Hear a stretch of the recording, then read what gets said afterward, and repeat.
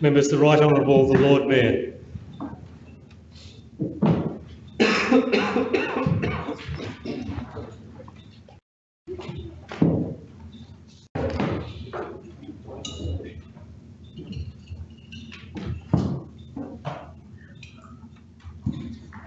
City of Adelaide Council meeting on Tuesday the 30th of July 2019. The Lord Mayor is in the chair. This council meeting will be streamed live and recorded for publishing to the internet. Please note that an audio and visual recording is being taken of this meeting. This means that your presence at and any contribution you make to the meeting may be collected, used, disclosed or published publicly by the council, including transferring outside of Australia. The red light to my right indicates that the meeting is being filmed and streamed. Council acknowledges that we're meeting on the traditional country of the Kaurna people of the Adelaide Plains and pays respects to elders past and present. We recognise and respect their cultural heritage, beliefs and relationship with the land and acknowledge that they're of continuing importance to the Kaurna people living today. We also extend that respect to other Aboriginal language groups and other First Nations who may be present with us today. Council acknowledges the vision of Colonel William Light in determining the site for Adelaide and the design of the city with its six squares and surrounding belt of continuous parklands, which is recognised on the National Heritage List as one of the greatest examples of Australia's planning heritage. Let us pray. Almighty God, we ask your blessing upon the works of the City of Adelaide. Direct and prosper its deliberations to the advancement of your glory and the true welfare of the people of this city. Amen. Will all present stand in silence in memory of those who gave their lives in defence of their country at sea, on land and in the air?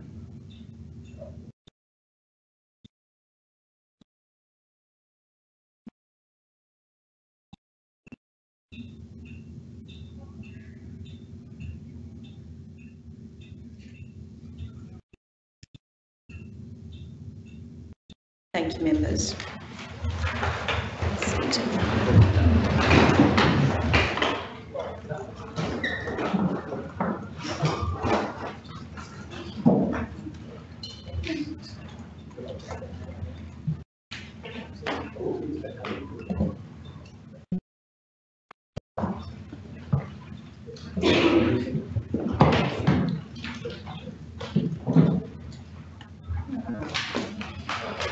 Good evening.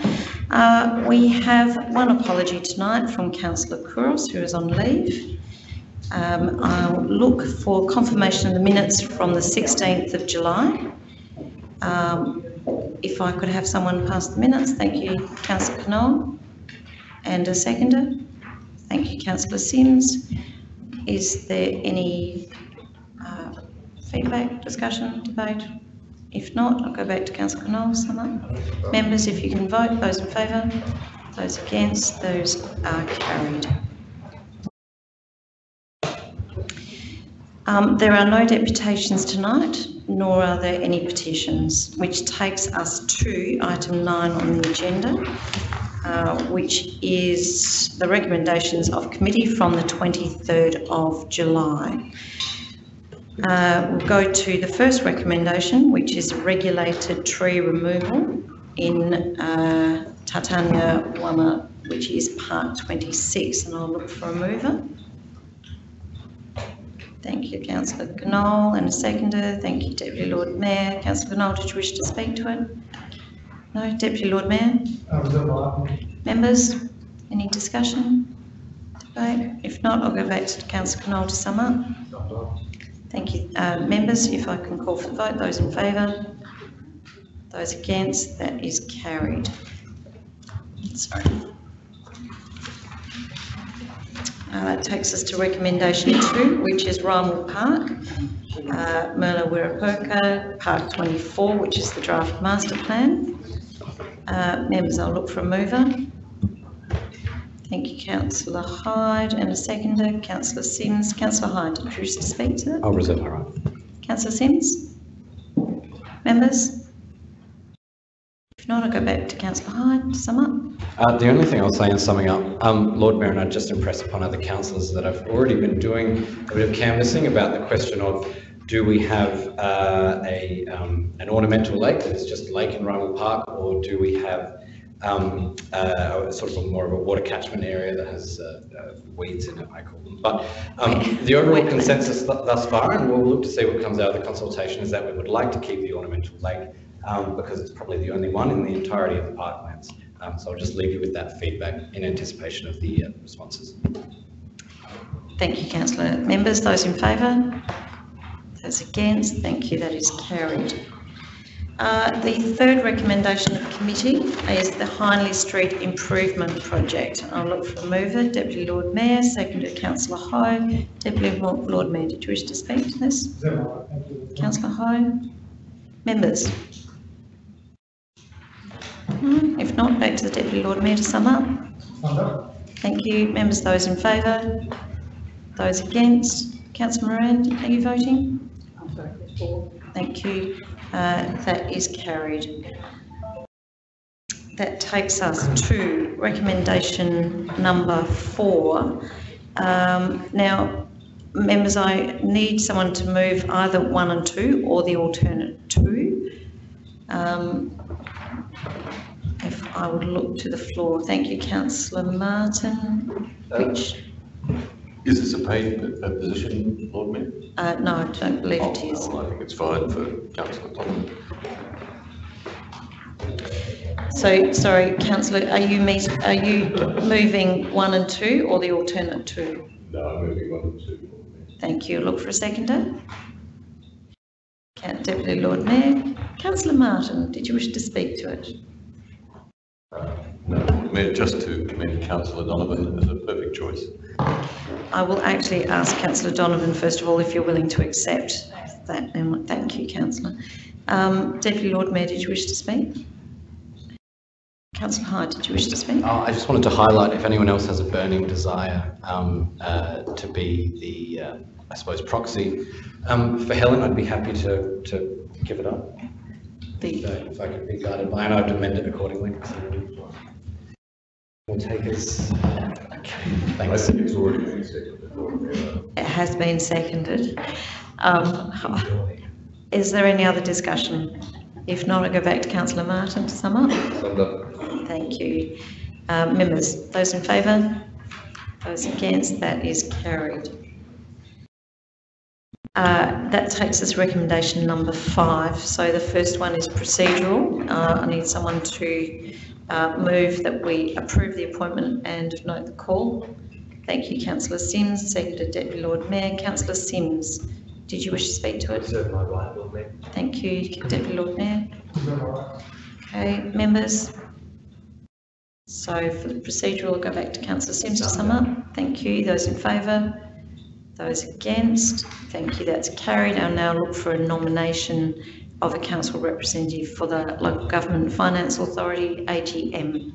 Councillor Martin. Um, I- With her acceptance, I'd like to nominate uh, councillor Donovan, she's happy to do that. Councillor Donovan, do you accept the nomination? Thank you. Members, are there any other nominations? If not, I'll ask for a seconder for that nomination. Thank you, councillor Hyde. Um, Members, any discussion? Debate? Nothing? Councillor Martin, would you like to sum up? Thank you. Those in favour? Those against? That is carried. Congratulations, councillor Donovan. It's not. Lovely. Um, We will be calling for nominations again for 2020, so councillor Donovan may wish to stay or she may actually wish someone else to take that Um, Recommendation six is the 20-year infrastructure strategy discussion paper response. I will look for a mover, Deputy Lord Mayor, and a seconder, please. Thank you. uh, Sorry, got both your hands at the same time. Uh, so I'll go to councillor Hyde. Thank you. Deputy Lord Mayor, did you wish to speak to it? Councillor Hyde? No members? Councillor Martin. Yeah, look, Lord Mayor, I just wish to record again that I will be voting against this. Um, the motion requires council to endorse exploration of value capture. Value capture is a tax on landowners, uh, and to quote a Sydney University publication, for the uninitiated, value capture is where taxes harvest the unimproved land value capital gain derived from enhanced infrastructure amenity. And it's not lost on me, Lord Mayor, that later tonight we'll be asked to endorse a proposal related to land tax, which is opposed by many of my colleagues, but apparently we don't oppose value capture. Thank you, councillor Martin. Members, any other, anyone else wish to speak to it? Councillor Simms. Thank you, Lord Mayor. Um, look, I have some concerns as well um, in relation to the inclusion of privatisation um, and the uh, reference to the potential of privatisation of council uh, infrastructure in the future. We've seen interstate the implications of that. Um, particularly in New South Wales, um, and you know the issue of uh, privatisation of public assets and public land is becoming a big issue in, in cities around the world, um, and I don't want to see us go down this path. Uh, Councillor Martin raised this issue at the last uh, committee meeting, um, and I think it's something that needs further consideration, and I am concerned about it being included in a long-term strategy. Thank you, councillor Simms. Uh, Deputy Lord Mayor, do you- oh, sorry, members, any other discussion? If not, go back to the DLM to sum up. Members, those in favour? Those against? That is carried. Thank you. Uh, Members, that takes us to item 9.2 on the agenda tonight, which is the advice of the Adelaide Parklands Authority from the 25th of July and the recommendation uh, one, which is the BMX precinct. If I look for someone to move. Uh, Thank you, councillor Martin. Councillor Abrahimzadeh, that was your second. So councillor Martin, did you wish to speak to this at all? Um, look, only to say, Lord Mayor, that I know this will be coming to us, but I've read the paper that was presented to our plenary. God, it's a thorough report. It's one of the best reports I've seen. Um, but can the administration confirm that I haven't misread that this is not to be an item for council expenditure until 2021? Is it, is that correct?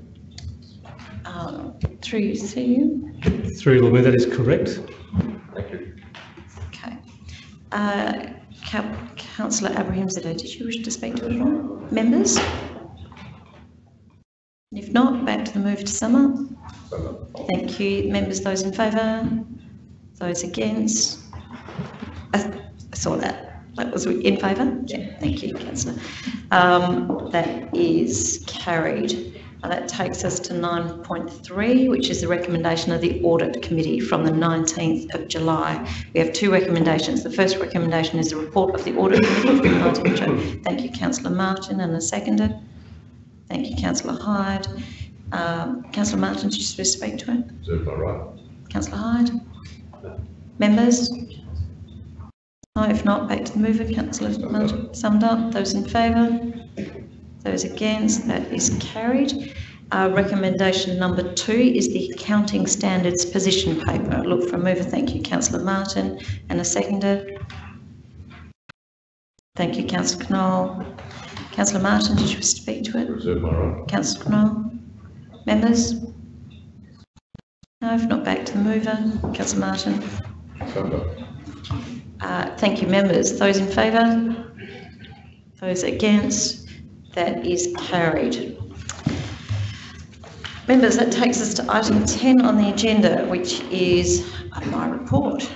Um, So a lot's been happening in the last month. Since my last update to this chamber, I hosted a Lord Mayoral luncheon in the Queen Adelaide Room to thank the generous benefactors of the Quarter Club for their significant and ongoing support of the South Australian Appeal Team uh, Committee and uh, local athletes as they prepare, prepare for the Tokyo Olympic Games next year.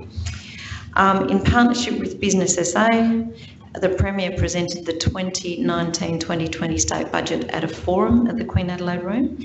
Um, in my welcoming address, I spoke about the major projects currently underway by the City of Adelaide and this council's achievements since our election and introduced our new For Designed for Life brand. Um, I attended meetings of GAROC, the City Capital City Committee, the Climate Change Committee, the Council of Capital City Lord Mayors, and the Asia Pacific City Summit in Brisbane, and hosted the second Hindley Street Roundtable. Um, I also participated in the Bloomberg Harvey City, uh, Bloomberg Harvard City Leadership Initiative in New York, which was a gathering of 40 mayors from across the globe focusing on data analysis, collaboration and innovation. Um, I hosted the Lord Mayoral reception for the Garden Boomerangs and the Ice Factor program, the Global Leadership Conference delegation in Adelaide to learn about our expertise in circular economy, to welcome the researcher in residence, Professor James Bowalski, and to mark the 10 years of St Vincent de Paul Society CEO Sleep Out fundraiser. And I thank those council members who attended and also those who emceed for me at those receptions. I welcome a delegation of our sister city of Qingdao. During their visit, a memorandum of understanding was signed, which will see a sister city school rela- a sister sorry a sister school relationship established between Qingdao Number Nine High School and Adelaide High School. Um, I attended the City Awards at Keith Murdoch House, co-hosted by the City of Adelaide and News Corp. This was the fifth year the awards have been held. On last year's number, there was a 31% increase in businesses nominated and a 15% increase in the number of votes from member of public. Business SA has also come on board as a sponsor providing advisory services and training to the awards recipients. Um, I attended the South Australian Architecture Awards to present the City of Adelaide Prize, which was awarded to Karen Rolton Oval at Narnungga Park 25 by Cox Architects. The City of Adelaide Prize People's Choice was awarded to the recent extension of St Mary's School on West Terrace by uh, Grieve Gillett Andersen. Um, I also opened the proceedings for the announcement of the centrepiece of the 2020 60th Anniversary Adelaide Festival, which will be the Requiem by Mozart, directed by Romeo Castellucci. Which will be amazing. And I attended the City of Adelaide's Lion Club annual dinner and awards, the NAIDOC morning tea at the Adelaide Town Hall, and I thank Councillor Simms for uh, representing me at some of the NAIDOC functions, um, the Sala opening night, and the big issues, big, the big lunch at the Central Market uh, on Sunday. Members, could I have someone accept my report? Thank you, Councillor Simms, seconded by Councillor Knoll. Members, those in favour? Those against? That's carried. Thank you. That takes us to item 11, 11.1, which is a report from council members. And I will look for a mover. Thank you, Councillor Abrahimzadeh. And a seconder, Councillor Knoll. Councillor Abrahimzadeh, did you wish to speak to it? Uh, I do, Lord Mayor, just very briefly. Um, uh, just wanted to highlight one thing, and that was the SA Architecture uh, Awards. Um, as you mentioned, Lord Mayor, the uh, um, uh, Karen Rolton Oval did take out uh, the award, and I highly recommend members, for those of you who haven't seen uh, this building or who haven't experienced this piece of architecture up close and personal, I suggest you do so. Thank you. Councillor Knoll, did you wish to speak? Members, are there any other things you wish to speak to? Councillor Hayden and Councillor Donovan. Yes, thank you, Lord Mayor. Um, I just wish to highlight and, and potentially add to the list, if, if, if at all able, um, uh, that as the ex officio uh, member of the uh, Royal Adelaide Hospital Auxiliary Committee, I attended uh, their committee meeting on Tuesday, the 16th of July, um, uh, and I just wanted to highlight uh, that this uh, very long-standing uh, volunteer group that has a very long history um, in within the city of Adelaide um, do some magnificent work, and I'd just like to pay tribute to their volunteers. Thank you. Thank you, councillor, and we will add that to the report. Councillor Donovan. Thank you, Lord Mayor. Just to briefly um, update the council on the National General Assembly of Local Government, which was held in Canberra from the 16th to the 19th of June.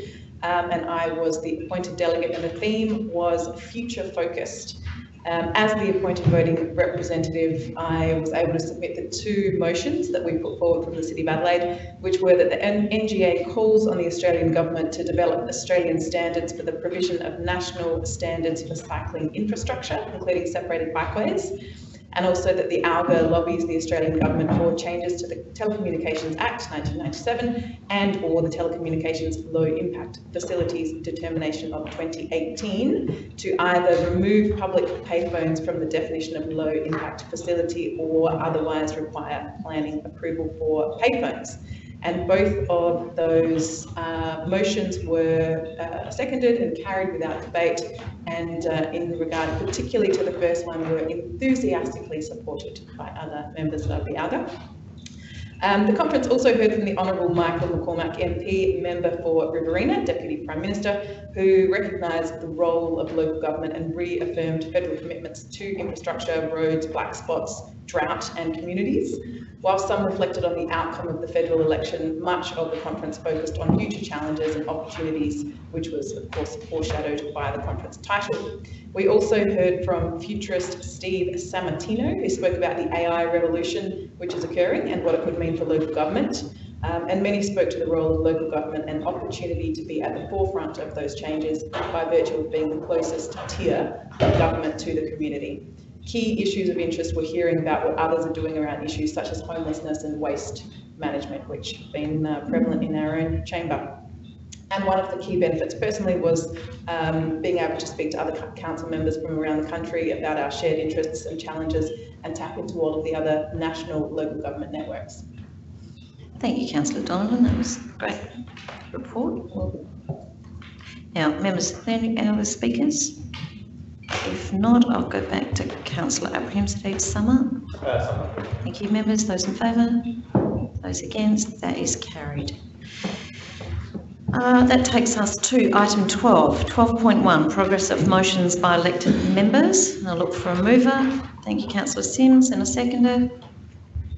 Councillor Hyde. Councillor Simms, did you wish to speak? Right, Councillor Hyde? Members? Councillor Sims? Simms? Thank you, members. Those in favour? Those against? That is carried. We go to item 13, which is questions on notice. Councillor Moran. I'll take that as, um, as asked, and I'll take take that as answer as been given. Okay, that is correct. Thank you. You don't wish me to read that? Everybody's got a copy of the answer there. Thank you, councillor Moran. That takes us to uh, item 13.2, councillor Simms. Thanks, Lord Mayor. Can administration please advise whether facial recognition technology is being used for surveillance in the City of Adelaide or whether any trials are being considered? And are you happy for me to read the response? Yes. Thank you. So the City of Adelaide's City Safe Network is operated by SA Police and does not use any facial recognition technology. The City Safe Network has been in place since 1994. Currently, there are no planned trials of facial recognition technology. However, we need to replace the current City Safe Network hardware and software as they have reached end of life. Most modern CCTV technologies do support facial recognition capabilities. However, as the use of facial recognition on the City Safe network would be a new enhancement, this would come to the Council for decision. It is expected that we'll bring a report to committee in January 2020 to discuss the future requirement and the business case associated with the City Safe network. Thank you, Lord Mayor. Thank you, councillor. Uh, that takes us to 13, uh, sorry, 15.3, councillor Hyde. Oh, no, I'm sorry, I've just, I just skipped a whole section. Um, we will go to 13.3, apologies. Councillor Martin. Well, thank you, Lord Mayor. Um, on July 11th, the advertiser reported Prospect Mayor uh, David O'Loughlin and Blackfriars, sorry, reported Prospect Mayor and Blackfriars Priory School spokesperson David O'Loughlin had entered into what was described as a quote, win-win agreement, close quotes, to share part two of the parklands with the Adelaide Football Club in the context of the Crows bid to take over the aquatic centre and those parts of part two leased by the City of Adelaide to the school for a period of five years. Given that the CEO has assured the elected body there has been no decision by council to endorse the Crows Parklands takeover, could the administration advise, one, Did Blackfriars Priory School seek the City of Adelaide's permission to enter into any discussions or agreement with the Crows prior to reaching the reported agreement? Did the Adelaide Football Club seek the City of Adelaide's permission to enter into any discussions or agreement prior to reaching the agreement? Does the school have the authority to enter into any agreement with the Crows in the absence of the explicit approval of the City of Adelaide? Four, has the City of Adelaide communicated with Blackfriars Primary since the 11th of July? Uh, a report of the agreement between the school and the Crows, and if so, did the communication convey any criticism or concern by council? Five, has the administration seen the reported agreement between Blackfriars Priory School and the Crows? And six, have the actions of the Crows in entering into discussions and or agreement with Blackfriars Priory School over the use of Park 2 when the City of Adelaide has not approved any formal plans or proposal from the club prejudiced their bid to take over the parklands and the aquatic centre? Thank you, councillor Martin. Uh, And I'll read the reply. Blackfriars Priory School has not sought the City of Adelaide's permission to enter into any discussion with the Adelaide Football Club, uh, the club, the Crows. City of Adelaide on the 21st of May 2014 forwarded correspondence to the principal, Mr Simon Kobelt of Blackfriars Priory School, informing him in view of media interest and as a current lessee of the current approach by the Adelaide Football Club and that council would be discussing the matter further when able to do so. Point two, the Adelaide Football Club has not sought the City of Adelaide's permission to enter into any discussions with the, with Blackfriars Priory School. 2.1, the City of Adelaide on 29th, uh, sorry, 21st of May 2019, forward correspondence to the Chief Executive Officer, Mr Andrew Fagan of the Adelaide Football Club, informing him of the current lessee and sublessee's arrangements currently associated with the Dennis, uh, Denise Norton Park part, I can't say, party part, part two, I'm sorry, um, and requested that this information be considered by the Adelaide Football Club in their development of a proposal. Uh, we are unaware of the govern governance arrangements of Blackfriars Priory School. However, it is a condition of the five-year lease agreement held between Blackfriars Priory School and the City of Adelaide that the lessee seeks the consent of council prior to assigning any portion of the leased land to a third party. 3.1, we have not received such request nor has any approval of this nature been granted to Blackfriars Priory School. Point four, the City of Adelaide has not communicated with Blackfriars Priory School since the report the reported article on the 11th of July 2019. Point five, we have not seen any agreement between the Adelaide Football Club and Blackfriars Priory School. And finally, point six, discussions or agreements that the Adelaide Football Club has with Blackfriars Priory School do not in any way limit or prejudice Council's absolute discretion in respect to the unsolicited bid process or indeed the consideration of any proposal by the Adelaide Football Club in relation to the parklands and the aquatic centre.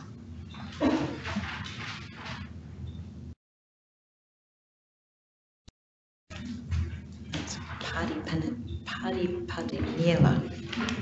I will get that.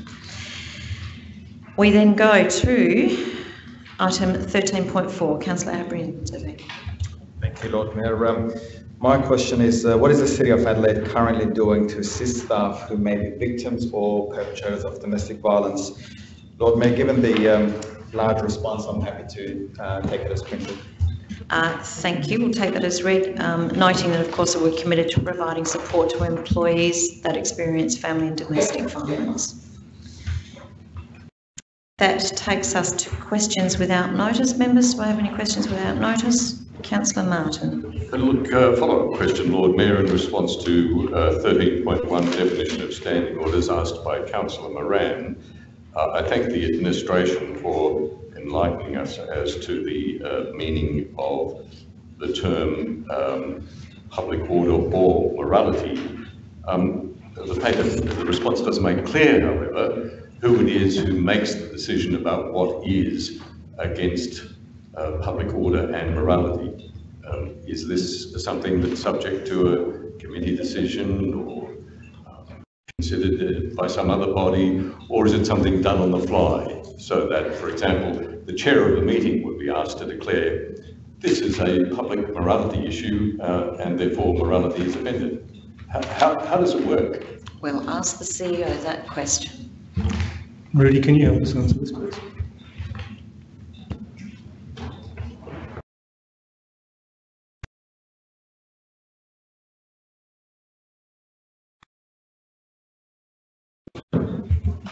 Through the chair, thank you for the question. Um, it comes down to the Lord Mayor's or the presiding member's ruling on that matter at that point in time. So these are just guiding words for the assessment of the Lord Mayor who has opportunities to control behaviour in the chamber.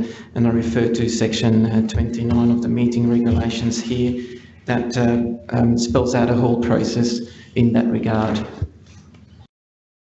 A follow-up question. Um, I understand then that at council meetings where the Lord Mayor is presiding, she would make a decision about what offended public morality.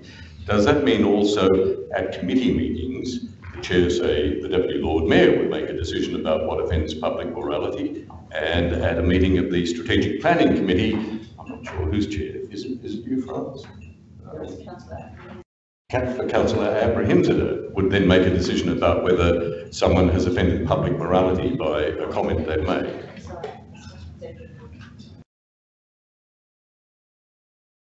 Through the chair, regulation 29, uh, 29 applies to council as well as committee. So indeed, the presiding member of the committee, uh, as the chair, would then be in the position to rule that.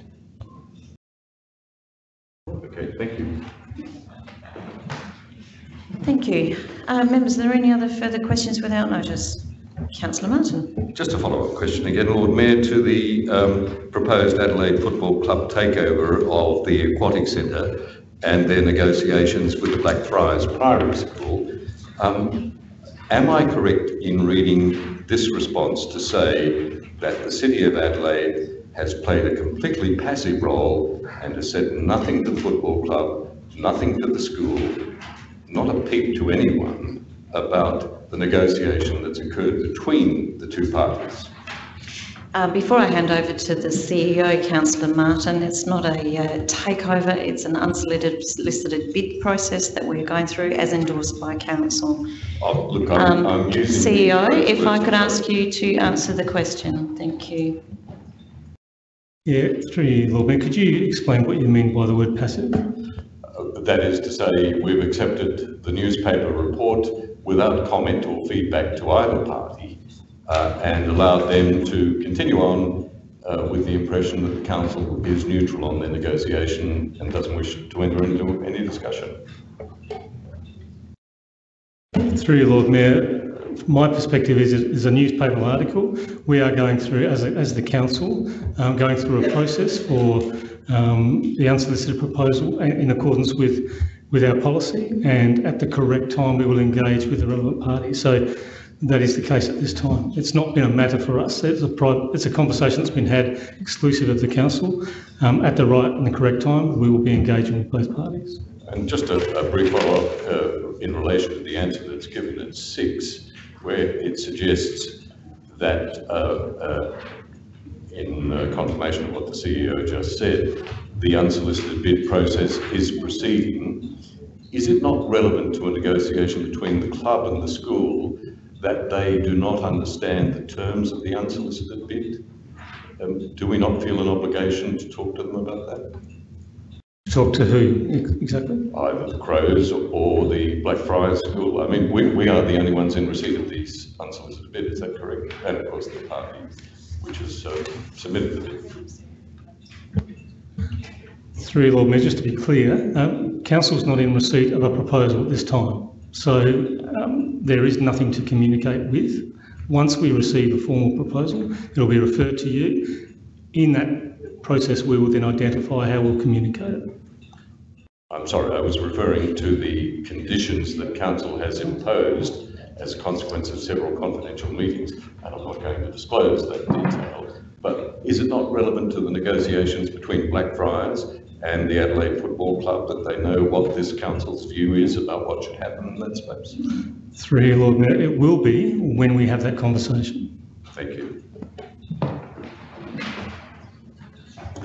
Councillor Martin, do you have any other questions without notice? No. Members? If not, I will go on to uh, item number 15, which are the motions on notice. Councillor Moran. Um, I move the uh, motion um, as printed, that I request the administration prepare a report outlining guidelines around what could constitute a neglected and/or derelict property. Request the Lord Mayor to write to the relevant minister seeking greater powers for council to compel landowners to clean up neglected and derelict properties. Um, we know, I know from experience, we don't Sorry, have. I'll, I'll just get a Oh, sorry. So thank you, councillor Simms. Thank you, councillor Uh, yes, look, um, I moved this before, but it failed because of something, I don't know. Um, but there is a ru- uh, a, uh, review of the L, LNLC Act is currently being undertaken, so this is the time that we should get, um, get to the government and ask for greater powers. We see all around us, um, councils are getting, uh, getting in the neck now for not having heritage lists up to date, but we are one council that have slogged through that laborious process uh, with great difficulty and opposition from almost all levels of media when we put uh, lists on uh, heritage listings on property. But this is another blow to, to that. There are often um, derelict or neglected listed properties and unlisted properties. There's one that's currently falling down in Wakefield Street, a real estate office. Uh, there are several in North Adelaide, listed and not listed, but are char- of character buildings. So I think that this is important that we um, we plug the leak in this direction as well, as we're doing pretty well in all other areas. Thank you, councillor Moran. Councillor Simms. Thank you, Lord Mayor, and I want to thank uh, Councillor Moran for putting this forward again and, and persevering with um, this motion. Um, last time we debated this, members might recall I moved an amendment um, and that created some uh, division in the council chamber. Um, I don't propose doing so this time, so I, I expect that this will be endorsed unanimously because I think that was the only concern expressed uh, when this was previously discussed. Um, one thing I do want to um, flag with members is when we're uh, developing any guidelines around what uh, constitutes neglect or a derelict property, I think we should take into consideration the financial circumstances of the property owner. Um, I can conceive of circumstances where there could be somebody who is on a very low income um, or uh, maybe not in a position therefore to make some changes to the um, the property um, because of uh, health or, or income levels, and that should be taken into account. But I know that this is um, asking administration to develop some guidelines and also asking the Lord Mayor to write to the Minister um, seeking greater powers for council in this regard. So those issues I'm sure will be dealt with in, um, in due course. I encourage everybody to vote for this. I think it's a really important um, principle that Councillor Moran is um, promoting here. Um, we know that there are many, many um, properties in our city that have been left to uh, become derelict in a state of disrepair, um, and it's a terrible way for our heritage buildings to be treated. So I encourage everybody to support this. Members, any other, spe- other speakers to the motion? If not, I'll go back to councillor Moran to sum up. Summed up. Thank you. Members, those in favour? Those against? That is carried. That takes us to 15.2. Councillor Simms. Thank you, Lord Mayor. I won't um, talk uh, for too long on um, this matter because I, I have spoken um, about it previously. Oh, sorry, I need to actually flag the motion. Um, I move that Council supports the regular disclosure of Council member contact with developers on an online register and requests that administration develop draft guidelines for the disclosure to be presented to Council by December 2019. Councillor Martin as a seconder. Thank you. Thanks, Lord Mayor. Look, I don't uh, propose to speak for too long on um, this item because we have debated this previously um, in the, the council chamber. Um, but I'm bringing it back because when I first proposed this uh, back in May, there was uh, a huge amount of feedback I received from the community. Members of the public uh, contacting me saying, this is a really good idea, keep pursuing this, don't give up. Um, it's very clear to me from the conversations that I've had with the community that they regard this as being a very, very sensible transparency measure. Um, I have made some minor changes based on feedback from the last discussion. I'm asking administration to develop draft guidelines um, to uh, govern this disclosure and be presented to Council by December 2019. And that means, Lord Mayor, that if there are elements in terms of how this might work in practice that members are concerned about, they can vote for this motion tonight and we have the opportunity to then consider the draft guidelines um, down the track in December. I want to point out, Lord Mayor, that I think uh, faith in our democratic institutions is at a low ebb. And part of that is because of the perception that vested interests have a influence over the democratic process. And this uh, developer register is another layer of transparency that could be added to ensure that members of the public can have more faith um, in uh, count and confidence in uh, council's decision making. It ensures that all of um, this contact, any contact that's happening with developers um, is on the public record and I do believe that the public have a right to know. This isn't about demonising people. I'm certainly not suggesting that anybody is doing the wrong thing here, Lord Mayor, but this is an added layer of transparency. It makes sense and um, I think the time has come for action on this issue. I might add, Lord Mayor, that I know later on tonight we're going to be discussing a proposal around uh, land tax reform.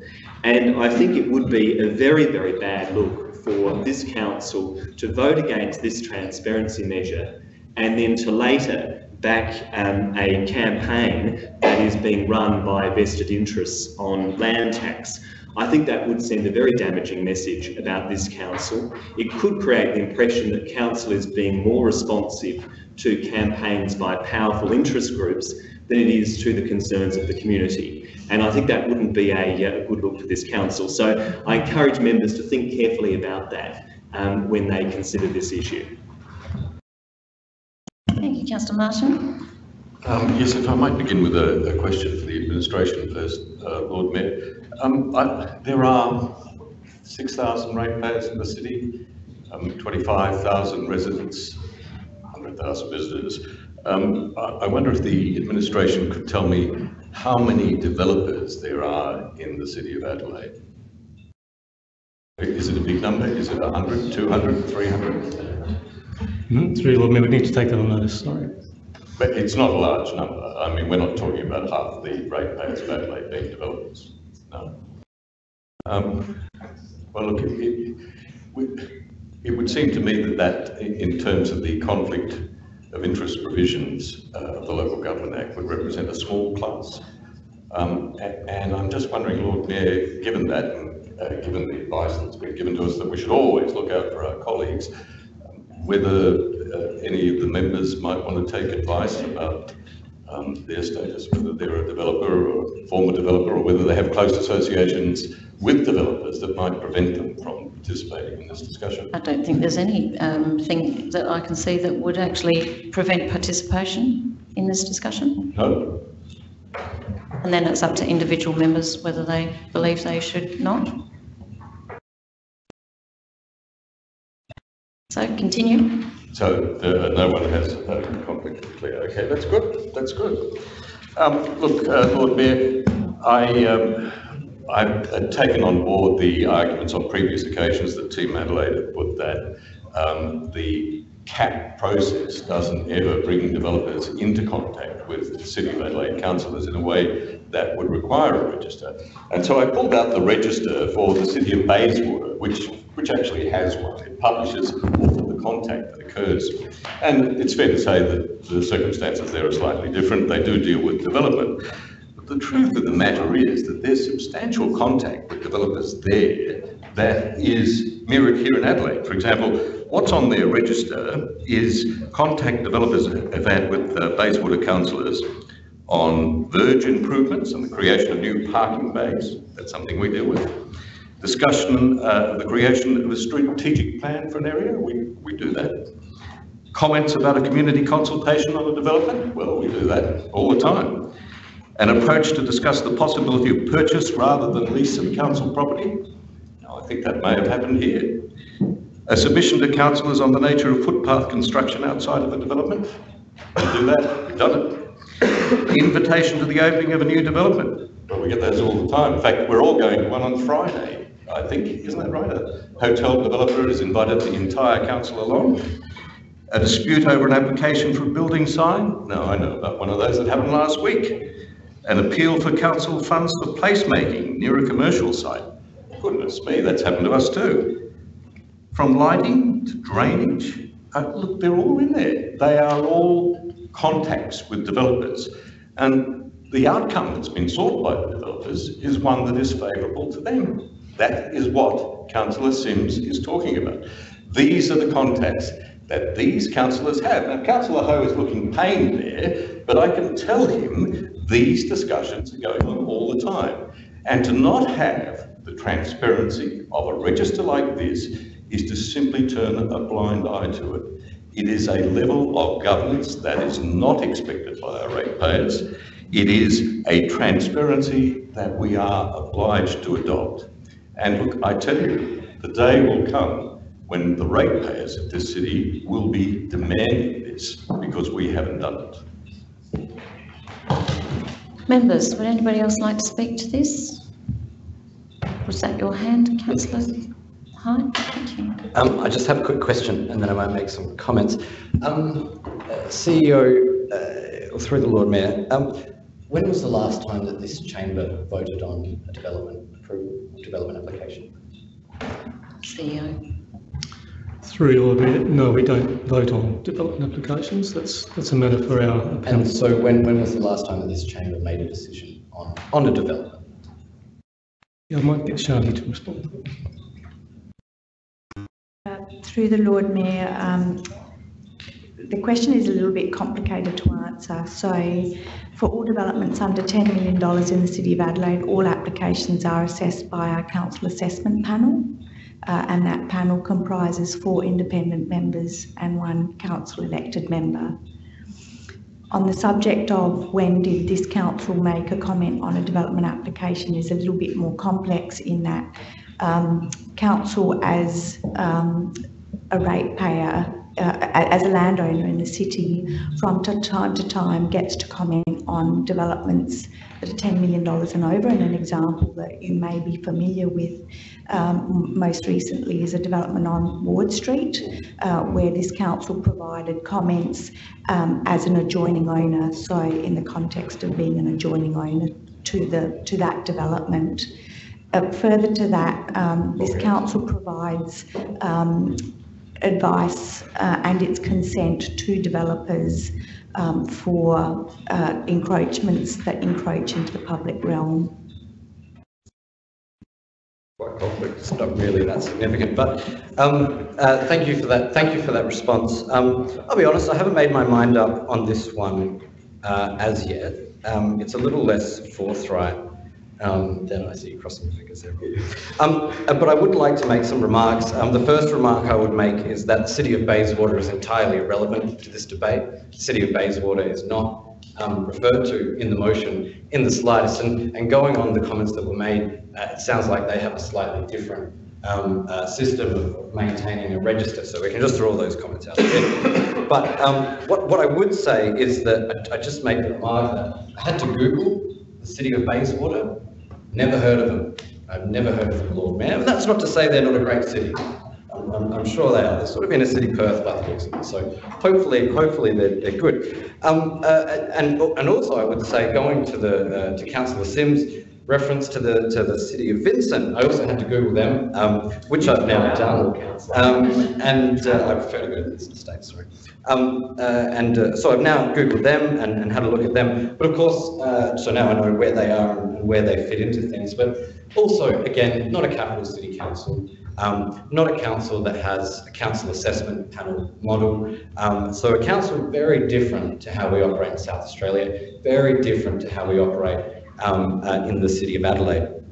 So I'd just like to make those couple of points as well. Um, uh, now, of course, before I just Googled the City of Vincent, I did do my due diligence and, and dug up the policy that was, um, or that is referred to in Councillor Simms' um, motion. I will say it does seem um, very draconian uh, for a council that uses our model. I, I would also say that maybe in not being familiar with Western Australia and their model, uh, maybe it's more appropriate for them.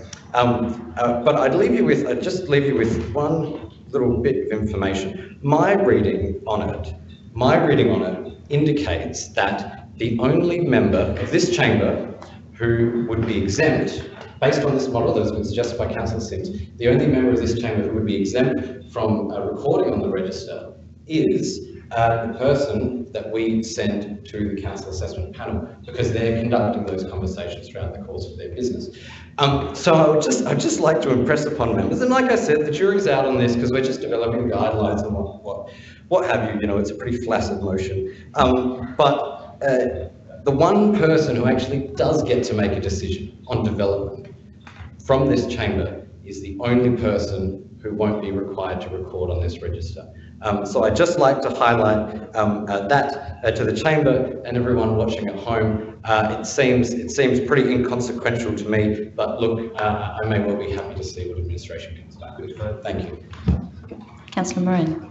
Uh, yes, as the member being referred to is on the, on the uh, panel, uh, before I'm booted off to be replaced by a Team Adelaide member, I would say that I would be the one person that would be top of the pops on that um, register. And that's why I moved a couple of meetings ago that there's a voluntary register because I would like to be on that register.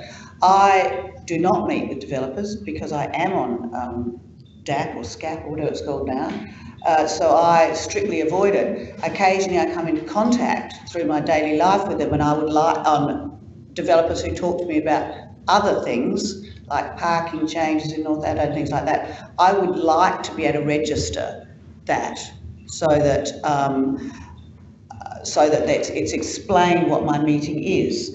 Um, having been on council for a long time, I've seen what not having a register does not having a register um, can bring great clouds of doubt over certain councillors. Our current, our current system, as we've seen with the post-it note, is not sufficient.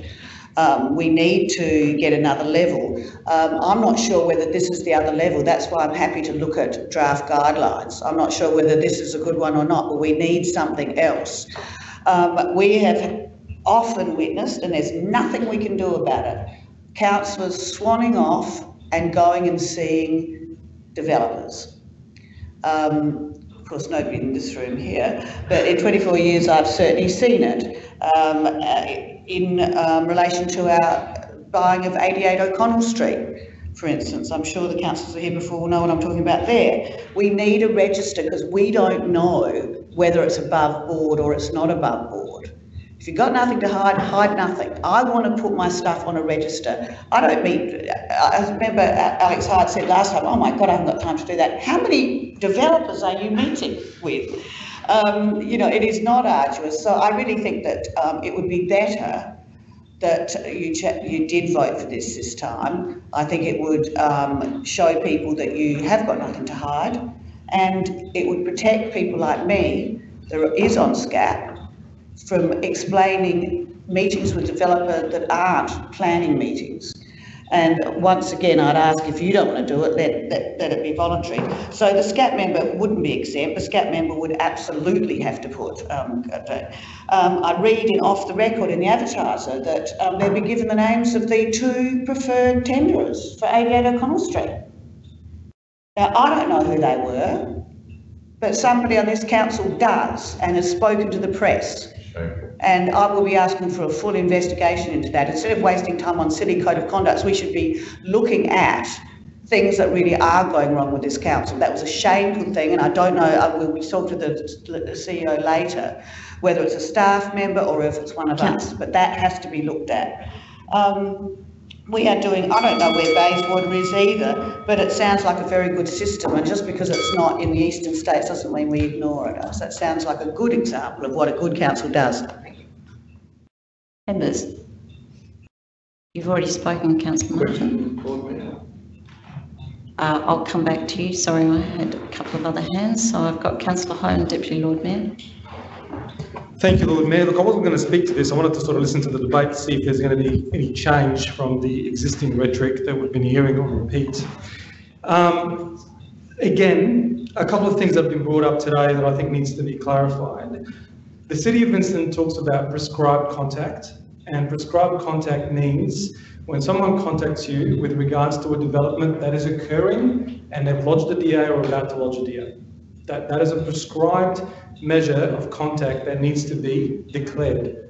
Under the same provisions of this council, if that has occurred and this decision was to come to chamber, we have to declare a conflict of interest in this chamber, be it perceived, actual or material. We have to do that. That's the reality of how we function. If a developer approaches this council where they want to do a JV on an improvement of a footpath, has to come through here, and if any of us have been influenced by that developer or to do business by that developer, they must declare a perceived material or actual conflict. That is the, that's the matter of the fact, and if they don't do that, we've heard from the ombudsman before, goes through an investigation process, comes back to council, there are ramifications attached to that. That's a very clear process, already, already drawn out, and it's something that already happens all the time. What Councillor Moran was referring to before with regards to the posted issue, that is a register of interest issue. That is a complete separate discussion to what this is. Both have merit, and these are debates that I've flagged before in the paper of areas where we could potentially improve to make our process better. No one's taking away from that. With that in mind, I'm going to tag along with this a little bit just to see if we can get some consensus. And I'm going to propose we move an amendment on this issue as follows.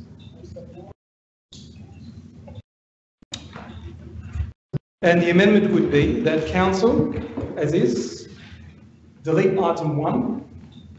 I'll explain why in a minute. Item two to read requests that administration investigate instead of develop draft guidelines for the disclosure of council member contact with developers. Happy to leave with particular consideration to the City of Vincent. Sorry, just a second, Deputy Lord Mayor. If you go investigate draft guidelines for, Draft guidelines for the disclosure of council members' contact with developers. okay, thank you. With particular consideration given to the City of Vincent Policy 4.1215, council member contact with developers as it is, no change and improvements in the register of interest process.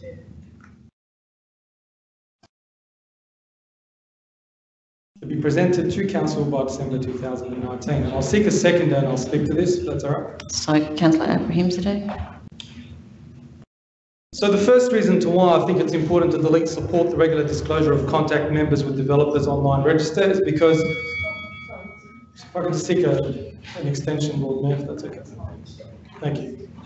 Uh, if I could, um, the reason I want to delete the first item is because we're not supporting the regular disclosure as yet until we do an investigation. Let's work out if this is a good process. Let's work out if this is uh, a process that we should adopt and it's best practice. Melbourne's not doing it, Sydney's not doing it, no other capital city in Australia that I know of is doing it, but maybe we should be the leaders and maybe we should do it. But let's investigate that. Let's get an answer on that. Um, and based on that basis, then we can make a decision as a council if we wish to proceed or not. The other thing I want to note that I'm sick and tired of is demonising ratepayers in the city of Adelaide. We might as well change that developer to ratepayer because they are ratepayers in the city of Adelaide, just like every other ratepayer. And I think if we want to go as far as disclosing every contact with ratepayer, I would go as far as disclosing every contact with ratepayer.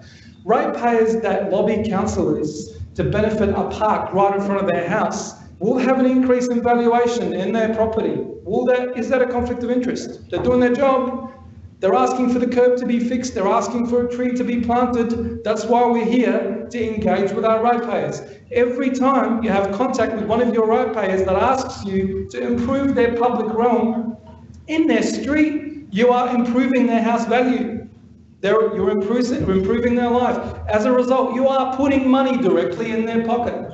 That's exactly what you're doing in the way of evaluation. It is our job in the city to engage with every single ratepayer in the city of Adelaide without having to demonise ratepayers that are investing heavily in our city.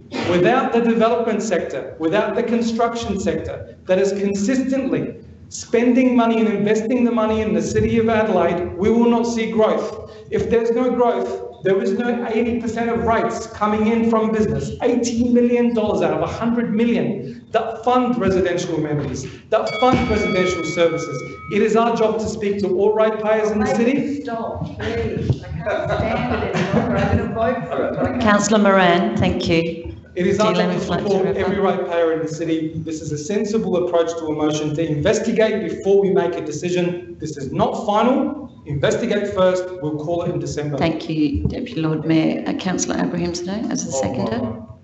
Thank you. I actually had Councillor Hyde, then Councillor Martin, and then Councillor Simms. Councillor Hyde. Councillor Hyde? Oh, I was going to talk about the, the motion. Oh, okay, all right.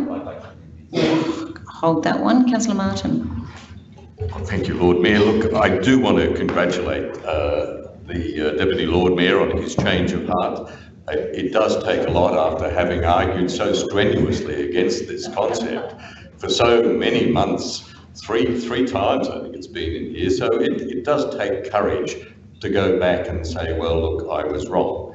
Now, look, I, I do want to say. Just to correct on the record, please, Lord Mayor, I uh, did not say I'm wrong at all, anywhere. And I'm not Thank- changing my mind. My Thank position you, remains- members. Thank My position you. remains, so you're clear, I do not support a register of interest, just so you know. Deputy Lord Mayor, bet you don't. if you could take your seat. Councillor Martin. Continue. Sorry. Not confused. I- look, I'm, I'm having trouble, Lord Mayor. Members. Are you running the meeting or is the Deputy Lord Mayor? Well, I'm trying to run the meeting, but I've got councillors from both sides actually talking at the moment. When they finish, then we will go back to you, councillor Martin. Thank you. Um, look, I, uh, I'm just delighted, uh, whether he doesn't agree that he's changed his mind or not, that the Deputy Lord Mayor is supporting something that is very similar to what's being proposed. But look, I must say, um, we are not a leader, as the uh, uh, Deputy Lord Mayor was saying. Uh, we are followers. Um, this is a measure that has been introduced into a number of councils. And um, I, uh, to help uh, uh, Councillor Hyde and, the Deputy Lord Mayor understand, um, Bayswater is actually the, uh, the council that surrounds Perth. Um, 37 square kilometres, about 65,000 people. It's a little country town, yes, it is a little country town. If Perth can do it, if a major metropolitan city thinks it's important enough for us to be talking about issues related to developers in a register, then it's good enough for us. And I, look, I don't buy this argument that, you know, this is all about growth, this is all about making sure this city thrives. This is about making sure that we are transparent. And there are developer conversations that go on. And look, the, uh, the staff have already explained to us that there are occasions where council has active conversations with developers. There are occasions when developers comes, uh, developers come to council with specific, particular proposals.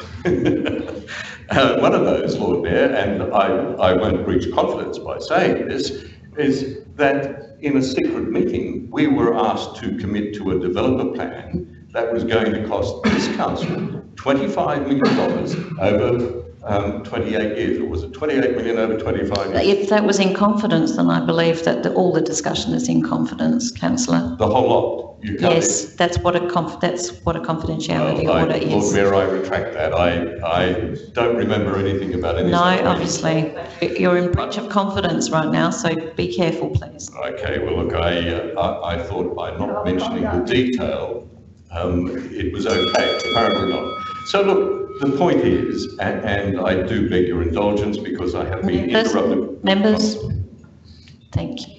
An extra minute. The point is that this is a measure that has been adopted in other places. It is prudent of this council to investigate it as is proposed.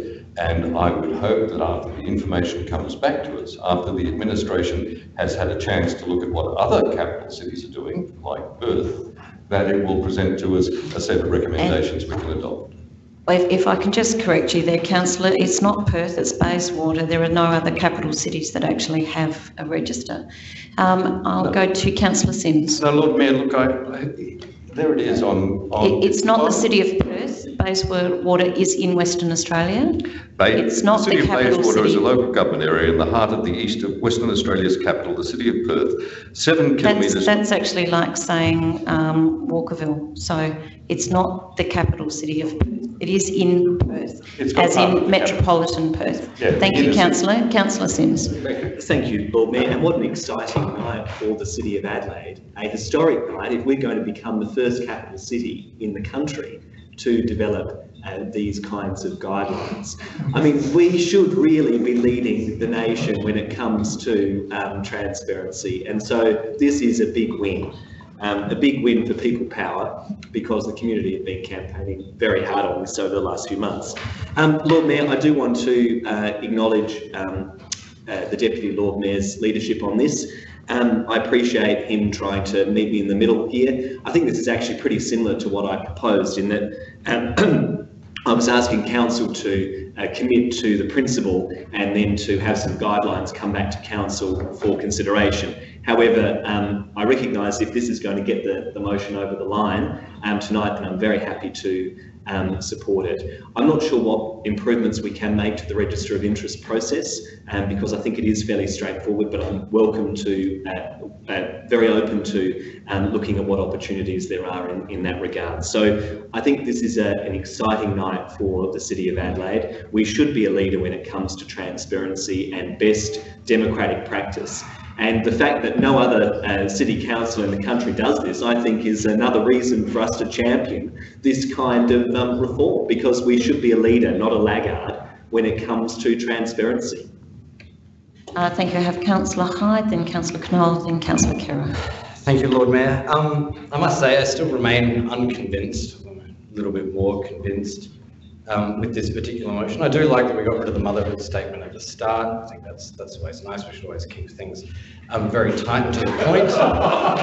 Um, uh, and uh, I do also like that we're going to look at the register of interest process. Um, I mean, look, my register's up to date, and very confident with that, but it can be a little bit arduous, and and there must be at least four or five different points of contact before it actually gets to where it needs to be. So, um, look, if there's a methodology whereby we can update our own register of interest um, that uh, saves the City of Adelaide money and time, um, uh, and really makes us more accountable to our ratepayers um, if we want to talk about transparency. Um, so yeah, I still remain unconvinced um, that this policy will really be best practice. Uh, but uh, look, I think we'll, we'll hear out what the administration's investigation is and what their report comes back with and uh, think about it in due course. Thank you. Thank you. I'll have councillor Knoll. I mean, I am also a little bit tired of it going around in circles because, I mean, uh, I come out of an industry that has so many regulations and so many requirements and, uh, you know, the transparency and doing more than what you need to to actually deliver that is, you know, it just incurs cost and, and also all these unnecessary needs. The other problem we have is that in this sort of situation, inadvertent things that even don't relate to this register can be taken. So if you can take a moment where you're going out like I did uh, with the Trailblazers event, and I happened to meet a wife of a, of a, of a developer, didn't know who she was in the first place.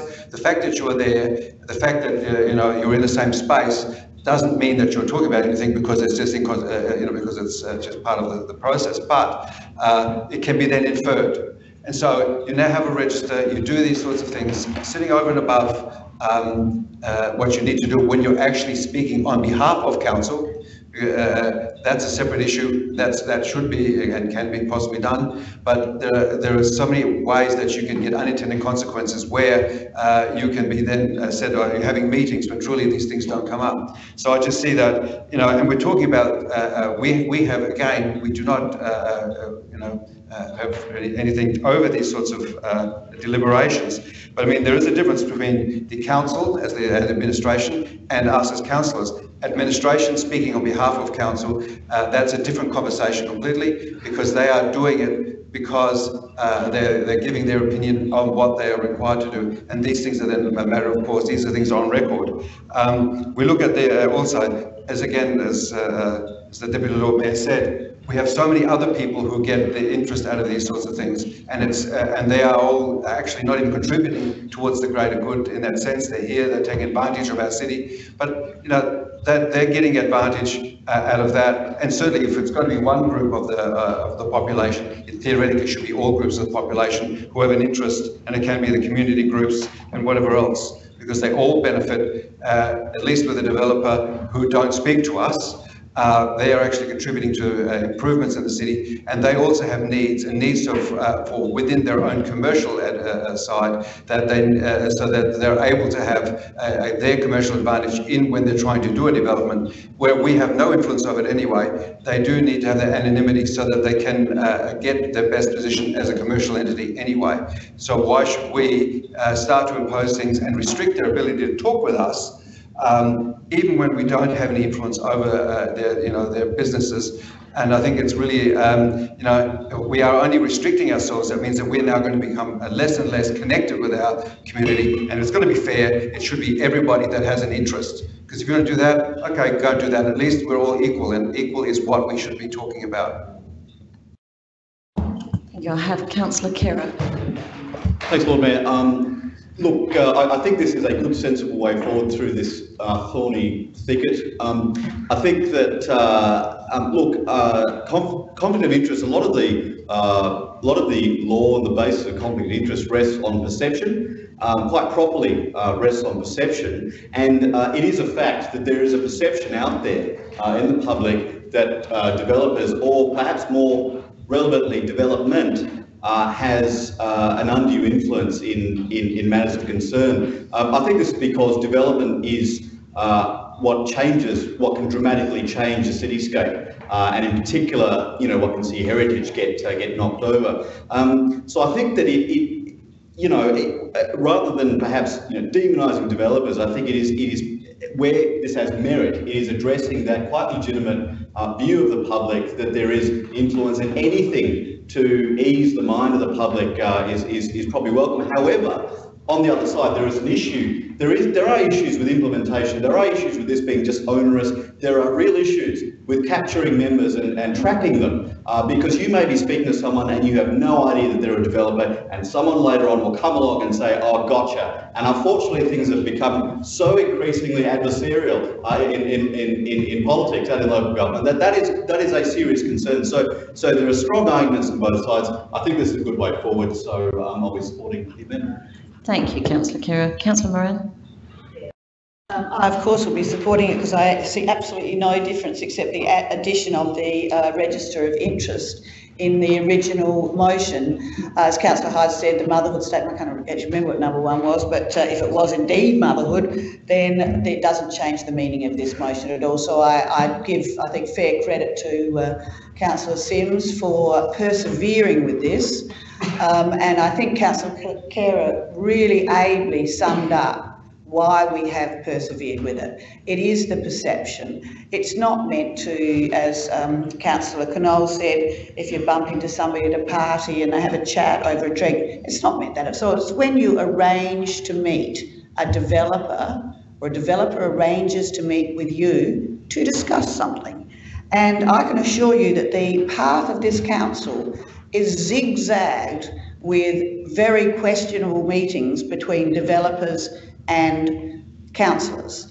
Uh, there was a time that real estate agents weren't allowed to be on the city council because they were considered to have too many conflicts of interest. We now let you in, but we do expect, because of, and we have a developer as well in Councillor um, Abiad, so um, we have opened the doors to people that are dealing in their normal life with developers. And rather than resist that, I think those two people in particular should embrace it because it's a protection, not a danger. Um, to say that when we discuss curbs and we're increasing the value of property is, is to take it to the lunatic degree to try and bring his own motion down. I don't understand that. But credit to Rob Simms where it, um, it, uh, it, started. This is a much stronger motion than the one I moved last time that you all voted against, that it was a voluntary register. So thank, thank you for not voting for that because we've ended up with a much better one. Uh, members, Councillor Hou. Lord Mayor, I just have a question to ask. I'd like to ask either the, either like, can tell me really like, what kind of developers are we referring to here? Are we talking about the developers who are member of the property council? Or are we talking about the developers who have got a sign in the city or have a proposal to do a development project in the city? Or are we talking about the developers who are doing projects in the suburbs or in other states or even in other countries? Because like Councillor Moran mentioned, I need to ma- I need to meet with developers very often. I can tell you, I need to meet with developers on a daily basis. I need to communicate more than 20 developers on a daily basis, phone calls, emails, WeChats, whatsoever. But I have never ever come into any conversations like what Councillor Martin have mentioned before. Lord I'm keep telling people that Adelaide is a good place to invest. I try to encourage people who have invested somewhere else to come to Adelaide to invest. Have I done anything wrong? All right. So really, I, I don't understand. There's another thing I don't understand. That like, look, for council members to meet with politicians. Oh, we are politics. We are politicians, uh, as I, I as I, I was just got told.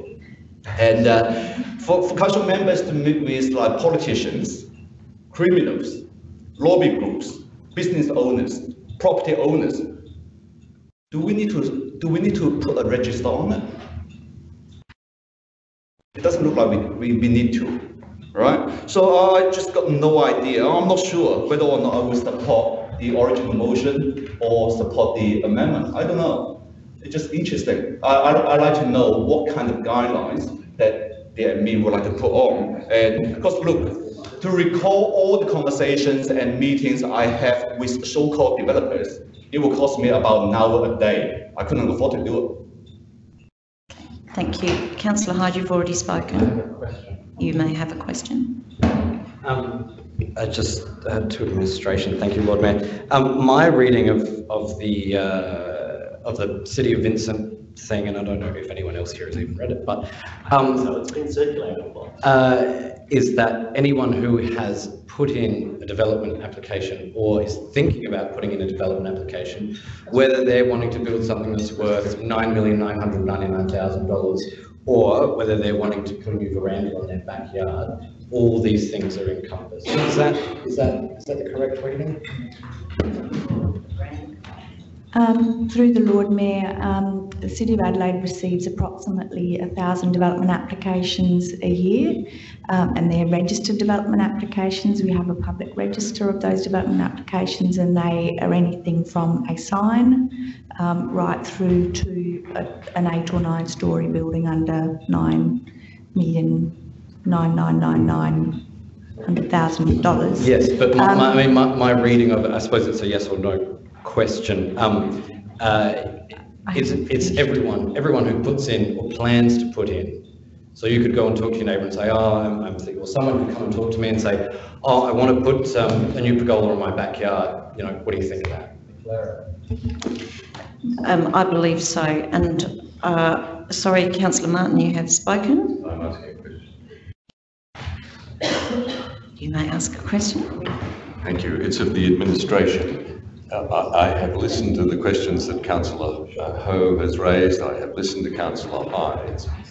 In the motion that is before the council, which asks the administration to investigate draft guidelines, is the administration going to go away and investigate, or is it already decided on avenues of investigation?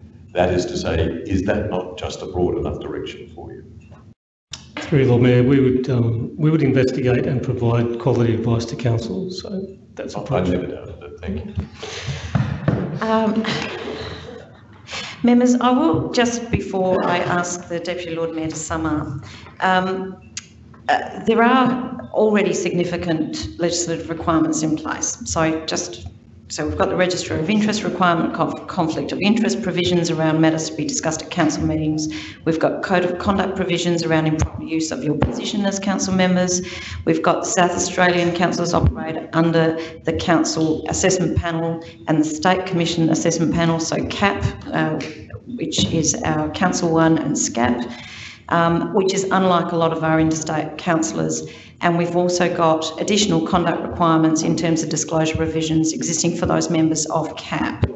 Um, there, there is no other capital city that has this, and it, it could be construed because um, it does also say in the uh, City of Vincent one that it's means of communication or conversation, regardless of whether it's foreseen, regardless of whether it's planned, solicited, or reciprocated, um, and then it is all all forms of communication, whether it's telephone, email, written, face to face, and the like. Unlike what Councillor Moran actually just said when she was speaking, that was uh, quite different to what is in this policy. So I'll be interested to see what comes back. Um, it could be construed. I actually also agree with Councillor Khera. Um, certainly could be construed as politics rather than policy. So I'll be interested to see uh, what comes back into the chamber. Um, though perhaps a register for CAP members may actually, uh, those that are actually um, meeting with developers on an ongoing basis, which is prescribed contact. So that is direct contact, contact to in, uh, discuss the development or the development proposal. Um, perhaps that is something we could consider within that. Um, also, we need to be uh, aware of adding to the administrative burden of all the conflicts that we already have in place.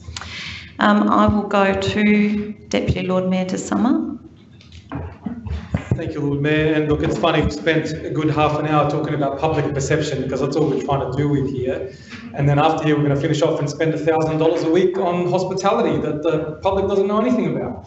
So very interesting how we play the games on council and what we try to wield in our interest versus in other people's interest. But first and foremost, this is a very different motion to what was proposed by Councillor Simms. Councillor Simms' intent is to support a regular disclosure of council members' contact with developers. My intent is not. I am giving the opportunity, I am, that's why this was removed, I am giving the opportunity to administration and to council members to convince me otherwise. I'm given the opportunity for an investigation to happen, for a report to come back to convince me that we need to do this. That is the only thing I'm doing to give you, councillor, the benefit of the doubt on this issue, hoping that on other issues you will reciprocate, which you haven't done today. Oh, I always. So it is really important to note that what I'm pushing for here is not the same as before. I'm not asking admin to develop guidelines, I'm asking to investigate and look at if it's something we need to do. That's what I'm asking for. And I'm asking clearly to remove the first item which supports it. I already think that we put our ratepayers through a lot. I think our business community suffers already a lot. We need to attract more people into our city. We're having to debate a lot of issues. After that, land tax, VG increased in valuation, 7% Can you foreign investment tax. A significant amount of things that are coming that have impact on ratepayers and developers in the city of Adelaide. We don't want to add the burden. We want to make it easier to be engaging with their council. After all, they elect us. And that's our job to keep engaging with them. So I'd ask members to support this. We will see the response to investigate it in December. And if the facts are there and it's the intent of council to pursue this further, and I'm convinced, I will support it. Otherwise, it's a no from me. Members, uh, we now go to the vote. Those in favour? Those against? That is carried. Vision. Council- the amendment, Lord Mayor, that we Yes. have the substantive. Council's division has been called on the amendment. Those in favour of the amendment, please rise and remain standing until all names have been called. Councillor Martin, Councillor Hou, the Deputy Lord Mayor, Councillor Khera, Councillor Donovan, Councillor Hyde, Councillor Moran and Councillor Simms. Thank you. That now becomes the substantive. I'll go to council, oh, is there any further discussion? I'll go to councillor Simms to sum up. Thank you, Lord Mayor. Look, um, I think we, some of us had to be dragged uh, to the finishing line, but we got there um, in the end. And um, I'm really excited about this outcome. Um, Councillor uh, uh, said that um, this is uh, very different to what I put forward. It's not, um, in effect, Lord Mayor. I propose that we get draft guidelines developed that we're going to come back to council. Um, that's what's going to happen now. We'll get an investigation and um, we'll get some guidelines back for us to consider. And that's what I've been asking all along. Um, I think this is a, a really good outcome here. Um, you know, when I put this forward some time ago, I talked about the fact that faith in politics is at a low ebb. Part of that is because people perceive that vested, influ- eh, vested interests are having an undue influence over the democratic process.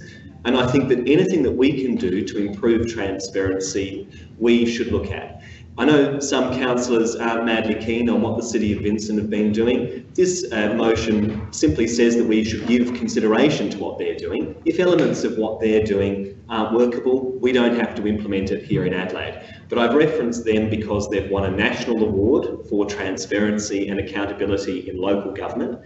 And so they are regarded as the benchmark for transparency. And I think we should be leaders in this space. The first level of elected government in our country, it makes sense that we should champion best practice. And with respect, Lord Mayor, that's not playing politics, that's good policy. And I think um, I look forward to the outcome of this uh, investigation.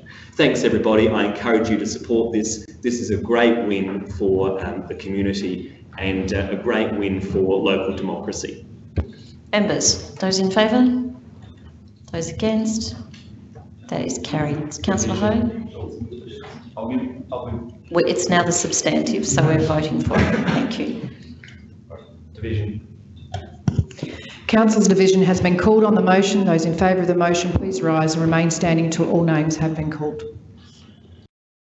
Councillor Martin, Councillor Hou, uh, the Deputy Lord Mayor, Councillor Khera, Councillor Donovan, Councillor Hyde, Councillor Moran and Councillor Simms. Members, that takes us to item 15.3. Councillor Hyde. One has the energy left. Thank you, Lord Mayor. Um, I move this motion as it appears in the uh, terms on the notice paper. I see the seconder. I saw two hands go up at the same time. Uh, Councillor Moran. Thank you, Councillor Lord Mayor. Uh, Thank you, Lord Mayor. It's a great um, uh, pleasure uh, to be moving this motion um, today in the chamber. And uh, of course, at the outset, um, I would like to highlight to, to everyone here um, uh, and the gallery as well. Um, this is, of course, an initiative of the official partner um, uh, of the Lord Mayor, Mr. Greg Mitchell. Um, uh, and when uh, the idea uh, was originally floated with me, I was very, very keen on it and very supportive of it, having worked with men's sheds previously in the past. I understand um, uh, the importance that they have, and of course, this this uh, this speaks to a, a few things: um, uh, combating social isolation in our community, um, uh, particularly uh, as people get older. Um, of course, you know we understand that um, men, you know, when they're too old to keep going to the footy club or they leave work and that sort of thing, um, uh, sometimes they may struggle to, to, to find a new, new place in the world and have a, uh, a shed or a man cave that they might be able to retreat into um, uh, and enjoy themselves. Um, and of course, this allows them uh, to seek that um, and also seek uh, friendship, uh, potentially new friendship as well, um, as they do so. Uh, it's also about active aging, Lord Mayor, which, um, uh, which I think is very important as well. Um, and it's about older persons' mental health.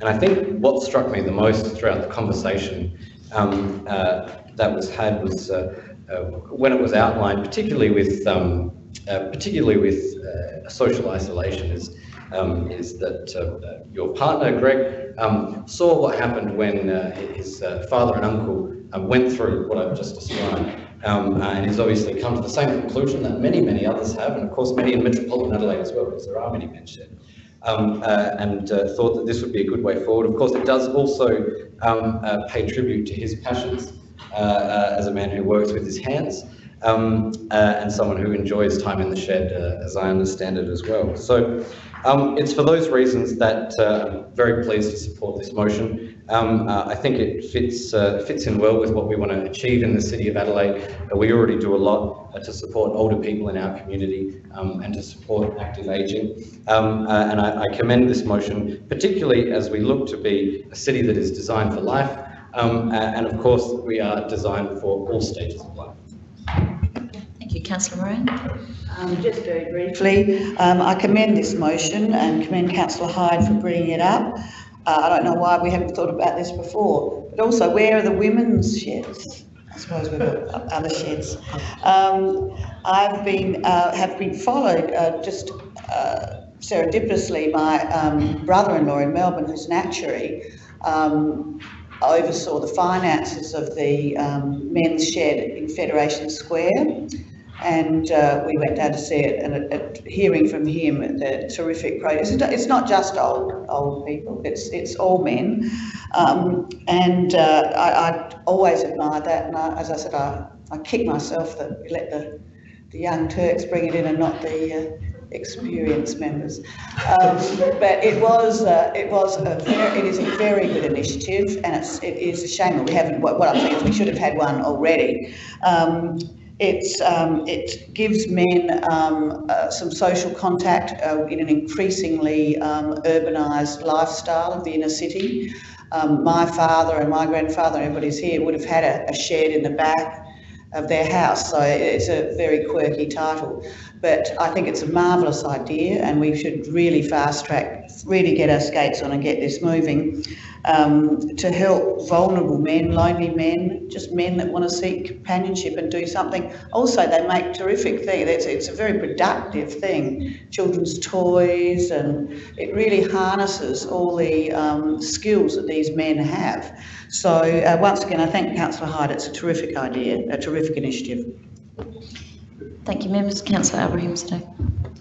Thank you, Lord Mayor. I, uh, I too commend uh, Mr Greg Mitchell for flagging such an initiative with uh, Councillor Hyde. And I do agree with uh, Councillor Moran, Moran in terms of uh, um, having that gendered shed, men and women. Um, I know that uh, for us men, we um, we handle stress and stressful situations differently. Uh, we don't uh, talk about our feelings. We, are, uh, we don't deal with uh, mental health issues as well as uh, women. I know when it comes to suicide rates, men are three times more likely to commit suicide than women. And when you look at Aboriginal, Aboriginal men, they are six times more likely to commit suicide than, than those who are non-Aboriginal. Um, uh, I used to be a, uh, a Rotarian and the uh, Rotary chapter that I was a member of, they used to run a men's shed and they used to call themselves the Toy Boys uh, purely because they used to make toys and uh, and donate them during Christmas. so, uh, so so maybe that's something that uh, this uh, men's shed could uh, could do and be involved in. I'll, I'll be more than happy to put my hand up and be one of the toy boys, and I'm sure Councillor Hyde would too. So I encourage all members to, to be a part of part of this men's shed. And and again, I commend Councillor Hyde and um, urge members to support this. Members. Um, I'd also like to thank Councillor Hart for bringing the motion through. Um, Greg has spent about six months of his own time and energy researching the men's sheds, and uh, it's a, a, real passion project. And I'd like to thank the administration for um, helping. Um, it becomes third place. So, and it's not excluding women either. I was very clear to say it might be called a men's shed because we all understand the concept. Um, but a lot of women um, have been excluded from sheds for uh, many years, and so um, there may be separate programs for men and women or whatever. But there's also the ability, uh, uh, in addition to the social engagement, for mentoring for those uh, more mature gentlemen that do have great skills to pass on to the next generation coming through. Um, so I really look forward to this uh, this coming to to be to existence, and I'll hand back to Councillor Hyde.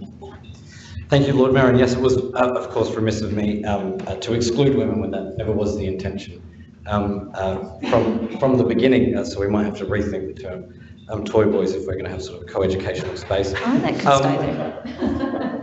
Uh, and uh, yes, once again, I just want to pay tribute to the work that's already been done on this. Um, I, I, do understand, while we call it work, I think Greg had a pretty good time going around all the various men's sheds, um, uh, around the metropolitan area and, and seeing what works well um, and all that sort of stuff. And um, for my part, um, previously working with men's sheds, um, uh, they do they do do something that is that is so so important. Um, uh, and and the best ones I've seen operate actually include women in it as well, whether it's a veterans men's shed or or ones with with other um, particular slants. So um, on that note, I, I, want to commend this again um, uh, to all of you here, and uh, I look forward to this coming back to us and uh, us getting this up and running as soon as possible. Thank you, Councillor. Members, those in favour? Those against, that is carried. That takes us to uh, 15.4, councillor Hyde. Thank you, Lord Mayor. I move this motion in the terms that it appears on the notice paper and seek a seconder. Sorry, I had councillor Abrahimzadeh. Um, Thank you, Lord Mayor. Well, I was very surprised uh, when I read the answer to my question on notice um, at the last meeting that um, despite, uh, despite pollen being such a, uh, a large issue in the city of Adelaide, um, that we don't have a strategy to manage it. And of course, when I say it's a large issue, I'm, at pains to say that it's a good problem to have. It means we have a lot of trees. Um, and that's something we don't want to uh, we don't want to change. We like our trees; they add so much to our uh, to our streetscape, um, also to our just general well-being in the city of Adelaide. Um, uh, but I think it's time, and, and it certainly comes up every year, and it came up last year before I was on council. Um, uh, it's time that we think about managing, particularly the plane tree pollen uh, in the city. I mean, we see it happen every year, um, uh, like clockwork uh, where you see the pollen bombs and they're there now, they're getting ready, they're getting bigger, they're getting ready to drop. Um, and it won't be very long before they start making an absolute mess um, uh, on our streets um, uh, and making life very, very difficult, of course, for people who are asthmatic um, and people who have hay fever. And uh, those people, of course, deserve to enjoy the City of Adelaide uh, just like anyone else. In fact, I would love to see more of them coming in um, uh, and enjoying the city um, and spending money in our precincts um, and adding to our community. So, um, and of course, when we talk about uh, our precincts as well, uh, we have to mention that a lot of traders that have outdoor dining um, find the level of pollen, particularly where uh, there are plane trees, to be a significant issue, um, not least of all because we don't allow uh, very comprehensive structures around outdoor dining as well. So there really is no protection. Um, and of course, it won't be long before we see some parts of the city, if we don't manage it, where the pollen is piled up inches high. Um, uh, and this, causes a, a, huge issue for people. So um, in, uh, in, in, speaking to this motion, I'd like to highlight to administration as well that, um, uh, look, I'm not a doctor. Um, I'm also uh, not someone who works in the public realm team, um, uh, but I would just highlight that uh, when investigating uh, the viability and, and, coming back with a proposal for the sanitisation strategy, um, uh, perhaps leaf blowers going around in the morning and whipping up all the pollen is not the best way to go about it because that would probably actually put more into the air. Obviously, the street sweepers that come through anyway um, uh, come through and vacuum it up, so that's fine. Um, uh, so I would urge you to think about that um, uh, when considering this motion. Um, and as well, it, just in concluding, I would say that I would really like this to be done within our operational budgets as they are. I don't think it's terribly complicated. I think, um, I know administration has uh, a sanitisation uh, schedule as it is, um, and I think we just need to adjust that schedule uh, uh, to, to acknowledge the fact that we need to manage pollen in these areas a hell of a lot better. Thank you. Thank you. Councillor Abrahimzadeh. Thank you, Lord Mayor. Uh, again, I commend Councillor Hyde for bringing in this motion and uh, um, for uh, choosing to bring this into the chamber. Thank you. I have Councillor Moran and then Councillor Simms. Councillor Moran, hello, hello. Yeah, look, um, I'm in two minds about this and I'll um, ask um, well, Councillor Hyde to put my mind at rest when he sums up because it's not at rest now. Um, you yourself, Lord Mayor, tried to move a motion like this um, and what what happened was that we basically stopped planting plane, plane trees. And um, as the known, pretty known fact that the Lord Mayor suffers, thinks, suffers from asthma, and she blames on the plane trees. At the time, we brought in the Asthma Association, and I think the plane tree was number 17. Um, they explained that while they, they, the itchy balls look bad, there are other trees and um, weather conditions that cause the um, cause the onset of asthma at certain times of the year. One of them was when the no north wind blew. It blows the wild oat seeds uh, and pollen down from the farmlands above. This coincides with the itchy balls, which were considered, while prolific, not particularly um, dangerous. So I can see where this motion is coming from. We already, um, because of what happened before, um, do not plant many plane trees. Now, my street is having a replacement of trees. They're, they started with plane trees, now they're going to claret ashes. which is very disappointing. The plane tree is the most magnificent tree.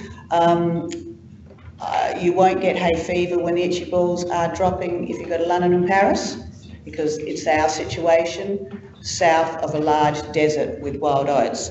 And that was explained to us. Um, uh, just managing a pollen situation such as wetting the footpath and soaking it up, that's fine. Um, but this, this motion will put the final nail in the coffin of um, plane trees.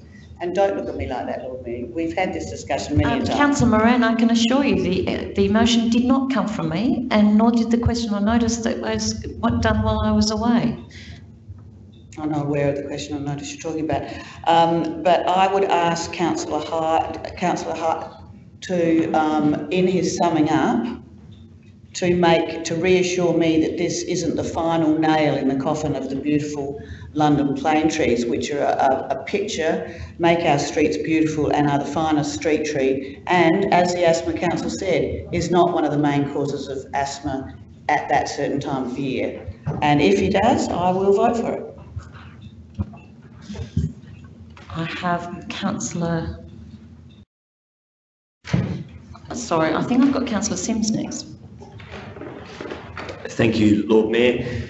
Um, look, as a hay fever sufferer myself, um, I um, am certainly keen to uh, look at um, look at this. I understand it's an issue for lots of different people um, in the City of Adelaide. I understand um, Councillor Moran's concerns around not wanting to um, remove particular trees.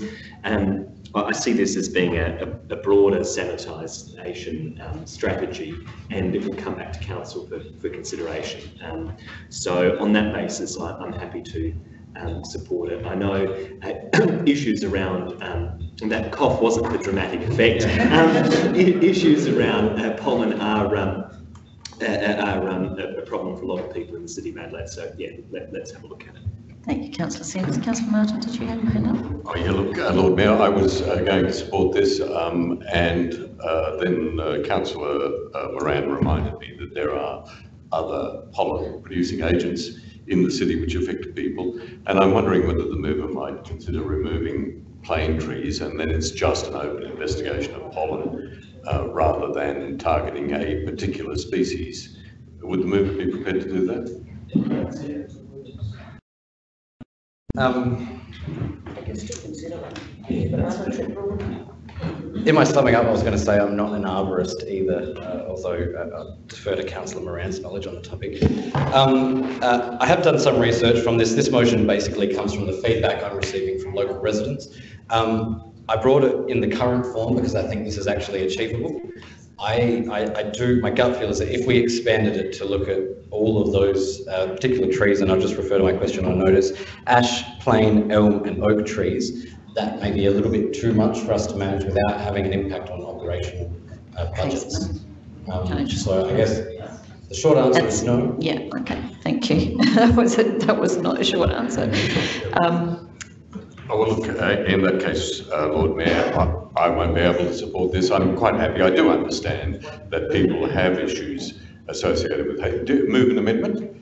Oh, okay. Well, I'll, I'll move that, um, uh, we place a full stop at the word, um, year. And then it- it covers everything. Um, I, uh, do I have a seconder for that? Oh, I'm spoken to. Uh, Did you want to exclude the parklands as well?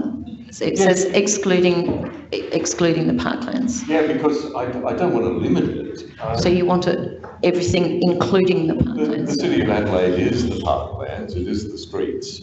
And all I'm proposing is that by not identifying London plane trees, which are, I think, targeted often by people in this city as the sole cause of their allergies and their hay fever. And look, Lord Mayor, I've got to tell you, I suffer hay fever. I take two pills a day and it keeps it at bay. Sorry, wish I, I was actually looking for a seconder. I was just asking whether you wanted to include the plane trees. Thank you, councillor Donovan. I'm sorry, Lord Mayor, I thought you saw Councillor Norman's hand. Um, look, I, I, I'm just suggesting that it is a- as broad as possible so as to not exclude anything. Um, to target simply one species of tree um, is, to my mind, unfortunate.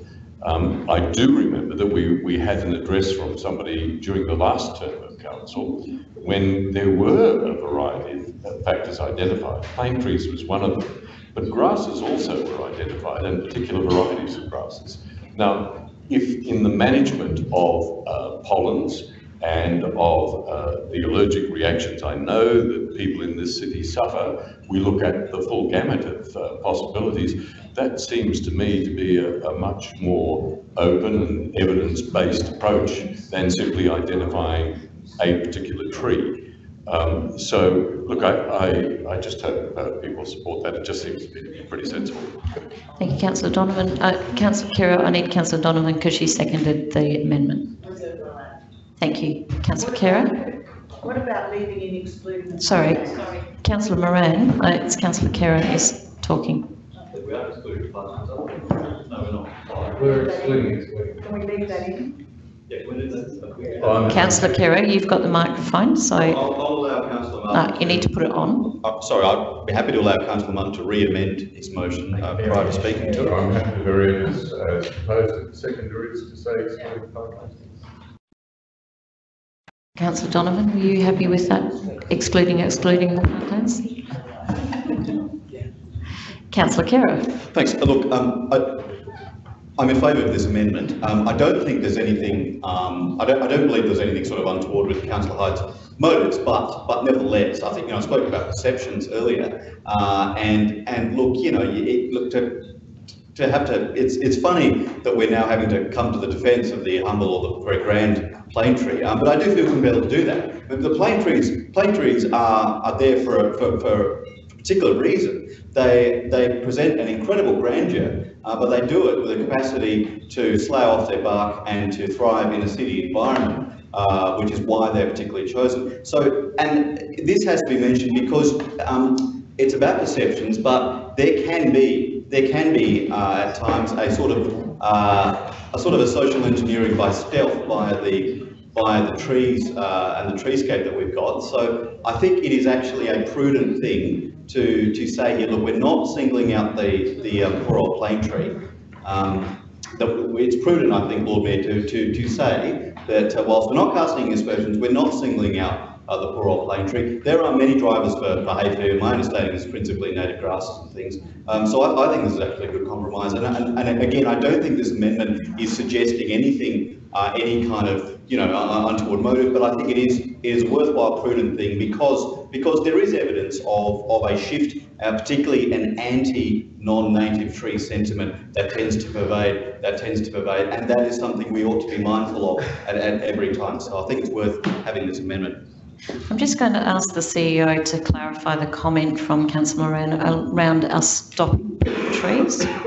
Yeah, through you, Lord Mayor, just to be really clear, we have a green city plan, and within that plan, it talks about a real kind of balanced approach to planting. Plane trees are still included within our plantings list, and we still plant them. So be very clear about that. Thank you. Thank you. Um, I think, I think that's it. I don't, are there any other speakers? If not, I'll go back to councillor Martin. Yeah. Yeah, I just want to make a couple of comments um, that I do think, I do think expanding, uh, I'm very sincere about this, um, to all of these various trees, which actually covers probably, I mean, if plane trees are what, 1,500 odd in the city, um, you're gonna, you're gonna make the proposal completely unworkable by including all the others. Plane trees are the ones that we most consistently get uh, uh, complaints about. Um, uh, they're also uh, very conveniently placed um, in boulevards. I mean, there must be probably 200 plane trees along Hutt Street. So for example, you know that that's an area you have to go down. Um, King William Road South, you know that that's an area you have to go down. Um, uh, same with other parts of the city. Um, and I think the fact that excluding the parklands was originally taken out of this motion um, just goes to show that uh, those seeking to amend haven't really done their due diligence. Of course, if you didn't have excluding the parklands in there, you'd be proposing that we go and, and uh, blow back uh, what must be hundreds of hectares of, parkland, um, uh, which is of course patently absurd. And then when we're talking about grass, it's all well and good to talk about grass, um, uh, but that's not the problem we're trying to fix. Grass is not really the issue. If you're walking down Hutt Street um, uh, and, and you're sneezing there, we don't actually have much grass there. What we do have, though, are plane trees. And that's the issue I come back to. Um, uh, and of course, when I'm talking about the plane trees, um, uh, if I was allowed the opportunity to sum up on my original motion, um, uh, I would have highlighted that uh, my comments in the media broadly have been that this is a preemptive strike, or my original motion was a preemptive strike, because you see in Melbourne they're starting to remove plane trees because they've become too big an issue. Now that's because they haven't taken care of the problems there. If we take care of our problems here, we won't, and, and to be honest, I've got to say again, very, very surprised that City of Adelaide has been here for, you know, uh, over 100 years and we haven't ever thought about managing this aspect um, of our public realm properly. Um, if we take care of the problem, then we're going to avoid the need to take out plane trees. So, um, uh, look, there's a plane tree right in front of my house, um, and, and, to put councillors at ease who uh, appreciate our British colonial uh, foliage, I suppose, um, uh, I would rather uh, chain myself to a, to a plane tree um, than see it be cut down, particularly by the City of Adelaide. Uh, and of course, I'd be very sad if that's um, uh, what happened. And of course, again, um, and I'll probably just run out of time in one moment, but I just wanted to highlight, um, yes, that there was a question on notice that I put last week. Um, it would be nice if councillors read their papers. and that outlines that, no, we don't uh, avoid cutting down plane trees entirely, uh, but we do have a particular preference for those trees uh, that aren't ash, plane, elm and oak uh, to plant trees that produce less pollen. Um, so that's the current state of play, but of course part one of that answer is there is no policy for the management of pollen, particularly caused by plane trees. I think if you looked at all the ones I just listed there, it's, it's not going to be workable, and if administration comes back with something like that, it's going to be uh, a, a cost in the order of hundreds of thousands of dollars to think about looking at all those streets for all for all that time. We're probably going to have to expand our workforce in order to deal with that. Councillor Khera had a question. A question um, for the administration. Uh, it, with, with, the, with, with, the wording of the amendment uh, being general, um, would there not be nevertheless uh, allowance there for a focus, uh, for a discretion by administration? Uh, does this uh, does this amendment not uh, preclude council administration from identifying that if plane trees are the most significant problem, they'll get the most attention? I, I just don't see that this amendment uh, stops you from focusing on where the problem is, if that's where the problem is. Uh, and, I, would I would say that you know the, the, issue here is not the removal of trees. It's, it's as Councillor Harwood noted, it is the attrition. So it is not. It's the replanting after they die down the track. Okay. I'll ask the CEO to answer the question. Through Lord Mayor, we would take a practical approach and clearly identify the key risk areas. Thank you. Uh, Councillor Moran, is that a question? I think you've already. No, oh, you haven't spoken. Oh, sorry, my apologies. Um, yes, look, I think this is a very good amendment. Um, I think we've established that there are many trees that cause a pollen drop, and there's also external factors. The crepe myrtle was much higher on the list of um, allergenic trees than the um, the London plane. The London plane probably is focused because there's a lot of them. Uh, the jacaranda at certain times far more allergenic. Um, so just to focus, whatever Councillor Hyde says, you've named one tree there, and therefore the implication is that's the troublesome tree. And no matter what the CEO says, we have dramatically uh, reduced the percentage of London planes in our suite of trees. Uh, so that's a disingenuous answer to that. We are veering well away from London planes with absolutely no scientific or factual basis for it.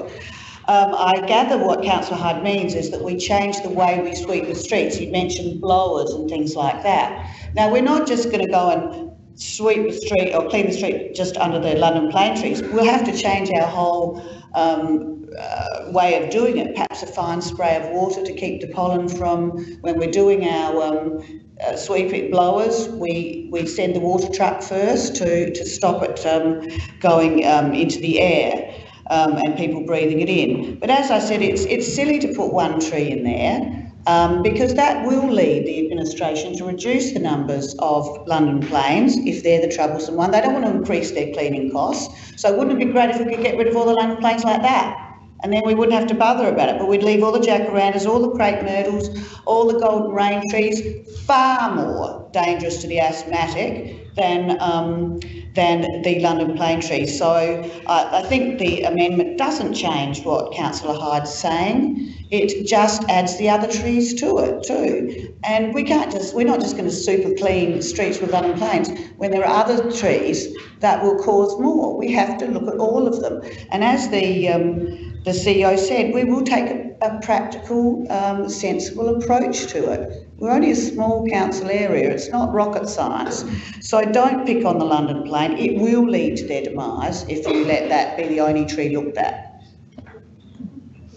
Uh, councillor Hyde, did you have a question? Yeah, I just had, um, I just had a quick question, uh, which I think might guide councillors. Um, uh, through you, Lord Mayor, to the CEO and perhaps even someone from public realm might want to participate in this if they're here. Um, uh, is, uh, is the council uh, aware and up to date with the body of scientific research done regarding um, uh, London plane tree, uh, London plane tree trichomes versus pollen and their various uh, alert allergenic With all due respect, this is entering the debate. Um, you can sum up. I wasn't the one that mentioned scientific information. Um, I, we're, we're asking administration to make a determination on how allergic these people are to these trees. I'm just curious, has that research been done? Or, or is administration at least aware of that body of knowledge? Um, I couldn't, I couldn't say yes, so uh, I've taken on notice, I'm sorry. Taken on notice, okay. So, CEO is good. thank you. I, I have another question. Sorry, Lord Mayor.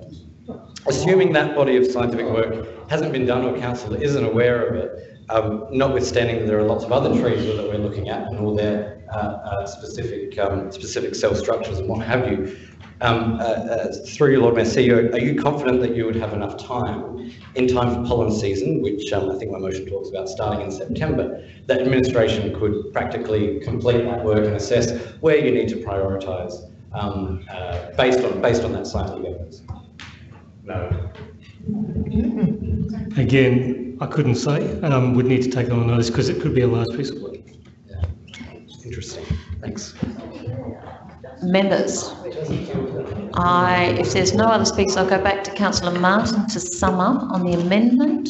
Uh, Thank you, Lord Mayor. Look, I, I know we're always in deep trouble when the council is Googling on the phone, quoting the latest scientific evidence on something. Um, Look, I, I, I always thought that councillor Hyde was an erudite, evidence-based person, and um, I, I am a bit surprised by his resort to Google on the phone. But look, the, the issue is we are just asking the administration to go away and have a look at all of the facts and come back to us. Uh, and as much as councillor Hyde wants to influence the debate against whatever tree or species he thinks is not appropriate for the city, it's much more appropriate to us, for us to go out and find out which are the agents which are causing the problem. And let's not get confused about the argument about uh, the, the palette of trees which we use in the city or what happens in Melbourne. The Melbourne circumstances, councillor Hyde knows, is that Melbourne has had terrible tree diseases for some time, and as a consequence of that, our policy has changed. Therefore, the palette is varied in order to survive the kind of disasters that Melbourne has had. Uh, Beyond that, there is no point in discussing it further. Please just support an open-ended, evidence-based uh, report to council. Uh, members, I'll ask you to vote on the amendment. Those in favour? Those against? That is carried. That now becomes a substantive. I'll go, uh, if there's any further discussion. If not, I'll go back to councillor Hyde to sum up. Um, I do think this does change the nature of the report that comes back. I'll just impress upon administration that um, uh, plane trees are the, are the trees that our ratepayers complain about. Um, and this, the original motion didn't actually say only plane trees, trees. it just said particularly um, uh, in areas where there are plane trees. That's what I wanted us to focus on. Um, uh, to be honest, as the only person here who's done reading on the topic, other than perhaps the Lord Mayor. Um, um, Thank you, members. Councillor Hyde is speaking. Um, I would, I would, I would just, I would just highlight that, um, that, that the jury is actually out as to, as to what, uh, uh, causes the worst allergic reaction. No, Um, uh, with regards to plane trees, it, it actually is. Um, and so, uh, this was more so us venturing in there, uh, to try and fix a problem. Councillor Moran. To try it for three months and to see if we got better results, uh, over this spring. And then to see if we could tweak it going into next year. It was never to be that complicated. I fear administration will now go away, have to go and then count up all the other trees in the city, and then uh, have the public realm team look at all them and think, oh gosh, how are we going to clean all of our streets while focusing on these particular ones? In fact, I fear if they came back with a strategy and then we then endorse that strategy, you'd start to see parts of the city that are actually quite dirty because we haven't been able to afford them the attention that they need. Um, the original motion was very practical. Um, uh, uh, again, the, the, the lack of understanding of the topic, and again, I'll refer, I'll refer to the inclusion of the parklands originally. We want to, we want to hoover up the parklands, how absurd. Um, uh, look, nevertheless, nevertheless. Members, we're if I could ask you, please stop interrupting and let councillor Hyde sum up. You've got about a minute left. Nevertheless, I'm, I'm glad we've had this discussion. Um, I'm looking forward to this report coming back to us in a timely manner um, uh, so that we can uh, satisfy so many of our ratepayers who have issues with asthma and allergies um, and what have you. And I'll just uh, seek to impress on the administration, don't overcook it. Um, please make sure the proposal that comes back uh, is, uh, is both workable uh, and, and to the best that you can make it operationally has no effect on our budgets. Thank you. Thank you, members. I'll now ask you to vote. Those in favour? Those against? That is carried. Members, we now go to 15.5. Councillor Abrahimzadeh. Thank you, Lord Mayor. Um, Lord Mayor, as we know, the changes to, the proposed changes to land tax, oh, sorry, sorry, before I get stuck into it, um, I, uh, uh, I have this motion as printed and I seek a second. Thank you, councillor Hyde. Okay, I'll pick up where I left off. Um, Lord Mayor, we know that uh, the changes of, uh, of this proposed land tax uh, has, has, has two sides, and we've heard both sides of the argument. Uh, we've had uh, uh, some members in here in this chamber uh, um, call hardworking ratepayers tax cheats and rorts. But um, uh, I would just like to mention one thing. Regardless of whether if you support uh, the changes uh, uh, to this land tax or not, the first thing uh, I would like to remind members of is the impact that it's going to create on affordability. We, we've always um, uh, spoken about the City of Adelaide being an affordable jurisdiction. But this, uh, uh, the changes to this tax will obviously uh, um, change that and it will affect our, our tenants at a time where we have uh, rising vacancy rates. All we have to do is go for a walk down to Hutt Street, Melbourne Street, O'Connell Street. You even go down to Rundle Street uh, and, uh, and, and you see some of the shops that are being vacant now. Um, so, so really, sending a, um, a message to the state government uh, would be the right thing because here we would be standing up for our ratepayers who are the tenants uh, in those shops. We're trying to keep uh, Adelaide as affordable as possible. The second issue here, uh, Lord Mayor, is the mass exodus that we'll see of investment.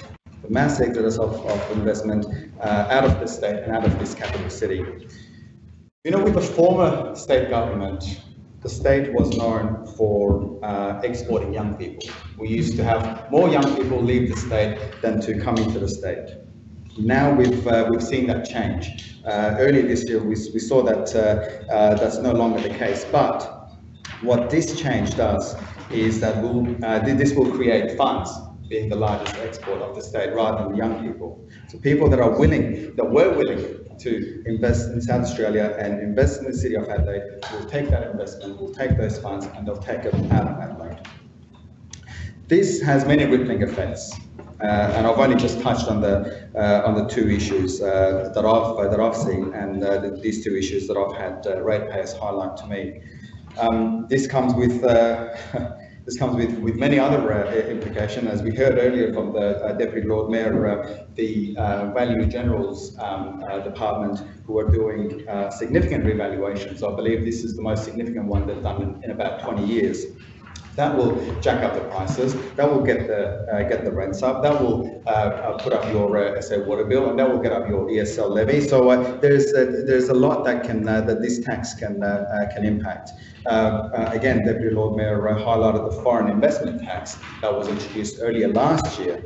Um, so really, uh, the one thing that, uh, uh, I guess, one way that I can describe the changes to the land tax is that it is the final nail in the coffin in the investment industry. People will take those funds, will take those investments and take them out of the state and take them out of this city. And that's not what I would like to see here. So uh, please do the right thing, members. Stand up for your ratepayers and support this motion. Thank you, councillor. Councillor Hou, did you wish to speak? Uh, councillor Simms.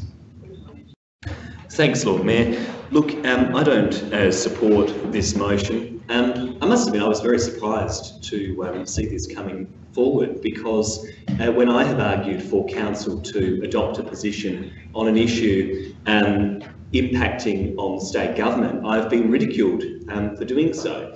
Indeed, uh, just two weeks ago when I proposed that we adopt a strong position on renters' rights, I was told, and I quote from um, Councillor Abrahimzadeh, it was reported in the advertiser, there is nothing stopping you from picking up a piece of paper, picking up a pen and writing a letter to your local MP, he said. You don't need to raise it here in council. Councillor Khera said we have to be very careful because there is a downside to sticking out beyond that which we are supposed to be dealing with. This is an area that the public delegate to the state government, he said. Well, this is an area that the people delegate to the state government, Lord Mayor. Taxation, land tax, it is core business on the, of the state government. So I really hope tonight, once and for all, we end this nonsense argument that says that any time I propose that we advocate for an issue that I consider to be of importance, I'm patronised and told that it's not within our remit. I think that needs to end um, tonight. But also, um, Lord Mayor, it's not a good look for this council to, you know, kick renters to the curb and say that that's not our core business, and yet to go into bat for wealthy investors, vested interests, and the big end of town. That's not a good look at all, Lord Mayor. But the other um, point I want to make is that the state government are actually uh, making what I regard as a good reform here. I'm not a fan of the state uh, Liberal government, but even a broken watch is right twice a day. And they are correct on this land tax reform. It's a, a sensible measure, it's an equitable measure that closes um, loopholes in our taxation system. And if you look at the comments, the briefing note, I sent it out to members earlier today from SACOSS, they make this point. They say that aggregating land holdings ensures that landholders are treated equitably so that they have, uh, where they have total land holdings of equal value. And they also say that the proposed changes will bring in an estimated $40 million per year into the state budget. And SACOSS is concerned that if these changes aren't made without the revenue from these changes, there'll be further cost-saving measures resulting in cuts to vital services. And we know, of course, that the state government have uh, formed in this regard.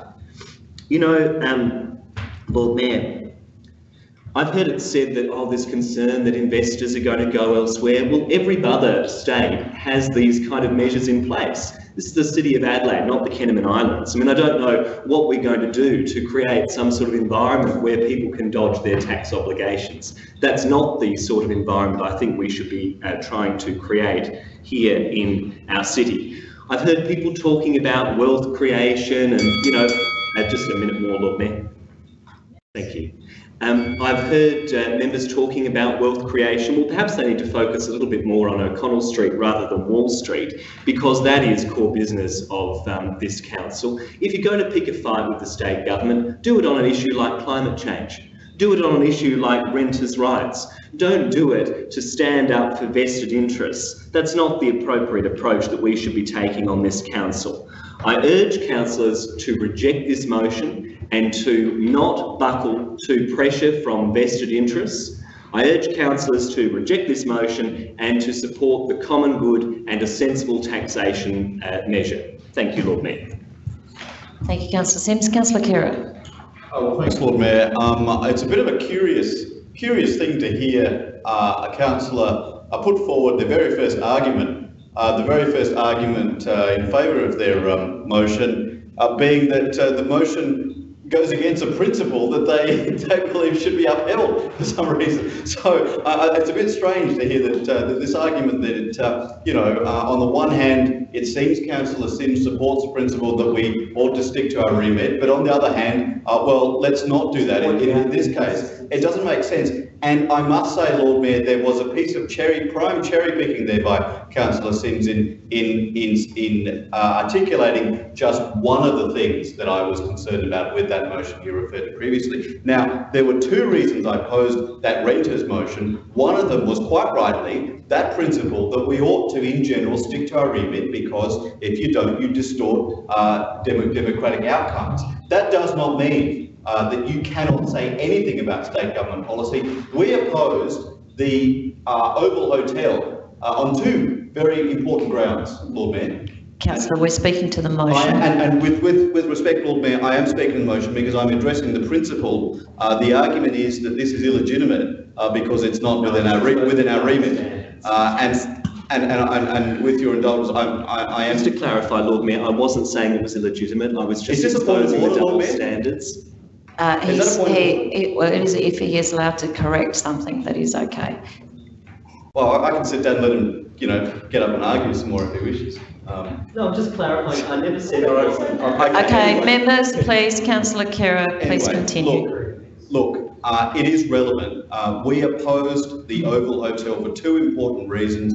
One was uh, the parklands issue. The other was that it was a distortion, it was a, a return to, uh, uh, it was a return to the, to the, the government giving favours. It was going to dilute uh, the inflows of capital coming in, okay? Uh, that was a perfectly good reason. It was about protecting capital inflows into the city. That was one of the grounds that we opposed the Oval Hotel, protecting capital inflows into the city. So whether you're for or against this, the argument that this is completely uh, illegitimate is, uh, with respect, not uh, not relevant. It's a piece of cherry picking. There are two reasons I opposed the renters. The renters one was was rubbish. It was going to damage renters. Councillor. It was going to damage renters. and- Councillor. and that- that's. But um, I'll, I'll leave it at that. I, I just want to uh, clarify. Particularly when I am cited for something uh, incorrectly, and that, I'll leave it at that. Thank you. I have councillor Moran. Uh, yes, look, um, taking up that, uh, I don't think that councillor Khera was targeted by that. It was a, um, a, a common theme through the argument, so I don't quite know why he has to get quite so nasty. Councillor Simms is just pointing out the inconsistency. Um, you can vote either way you like, but he did, there was a great inconsistency of the reason why some people didn't vote for other motions, and now putting something up that's uh, in the same, uh, in the same thing. Um, look, I, I to put uh, councillor, some councillors' uh, comments that, yes, I would urge the team to, in their own personal, private life, to write to um, Mr Lucas to um, and engage in the consultation that the government is carrying out now for this. Um, as I said in the media, I don't want this going anywhere with my name on it. Um, and uh, I'll call a division afterwards and ask that perhaps they consider putting who voted for it. Councillor, if, if the uh, chamber would like uh, that to be in said letter, if this motion gets up, I'm very happy to do that. Thank you. Uh, well, that, that's, uh, uh, uh, thank you very much because I do, this is not being done in my name at all. This is a good tax. Uh, the raising of the threshold has meant many people, myself included, uh, once back in the day when the land tax went up, that could then rent part of the house out and not pay any land tax.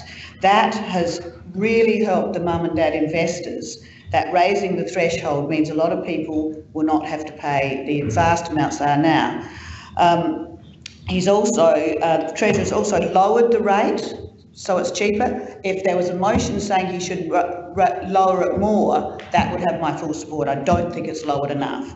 The aggregating of land holdings is closing a loophole, closing a raw that all the other states have closed. So I'm not quite sure where they're dancing off to other states, to take the money from here, where exactly they're intending to go.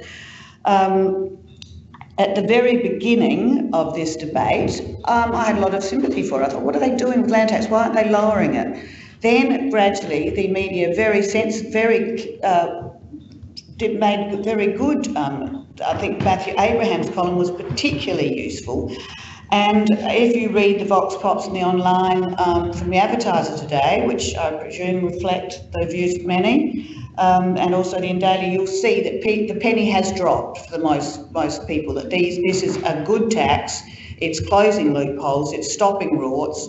Um, and yeah, I don't. Uh, to what the council that said, you know, we're accusing people of doing wrong thing. Yeah, we are, and they have been for a long time, but they've been doing it legally. Now the minister has closed that, and I think that's a very good thing. But I don't think see why the team has to bring drag the council into this. If they've got their private fights with their own tea, with their own party, that's fine. Um, and I really thank the Lord Mayor for um, including the di- division vote in the letter, because I don't want my name anywhere near that letter. Uh, members, are there any other speakers? Deputy Lord Mayor?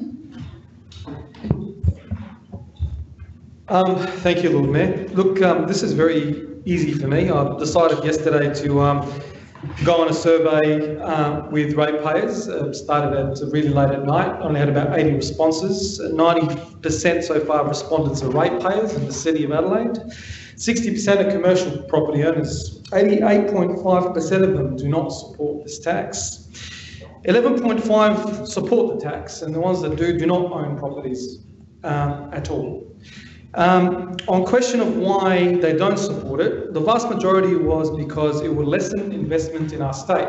So it creates a perception, which we were talking about all night tonight, talking about perceptions and magic and fairies and all the things that cause impact on our state. It causes a perception that we're not competitive and it causes a perception that we are a high taxing state and hence a high taxing jurisdiction, which will deflect people from our state somewhere else. We shouldn't be brought up to par with Sydney and Melbourne. We need to be more competitive with Sydney and Melbourne and far more competitive to be able to attract investors to come to our city. On the question of how will you deal with the increase, 67.65 of respondents said, I will consider investing outside of South Australia, followed with, I will not go ahead with proposed developments in our state or city. 55% of respondents owned, and this is really interesting, owned less than four properties. Okay? So if we think about this, this is the lower end of town. Aggregation is a very important thing to note because companies Councillor Moran. Because companies and trusts under Australian law and under Company Law and Corporation Act are individually on their own as legal entities. They cannot be grouped for taxation purposes.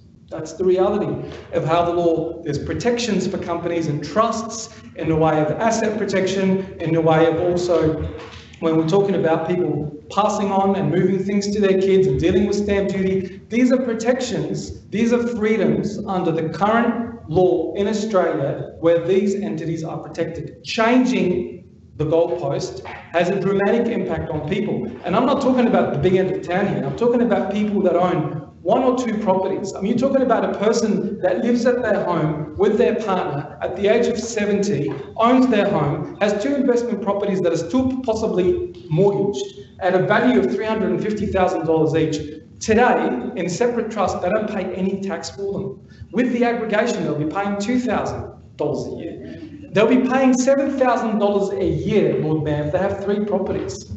Three, that's it, 7,000. 7,000. Councillors, can you please let the Deputy Lord Mayor finish speaking? They don't want to be educated on issues, I guess, Lord Mayors. They can keep talking, which is fine. Um, it's very, it's very easy. Um, if I could just grab one minute extension, thank you. Um, when we're looking at all the facts before us, this does impact the younger side of town, the middle side of town, the big end of town. It impacts everyone. We already have a significant amount of vacancies in the city of Adelaide when it comes to commercial properties. This tax will have to be passed on to someone. If it's passed on to the tenant and it cannot be absorbed by the property owners, we're going to have a significant impact on more vacancies in the city of Adelaide.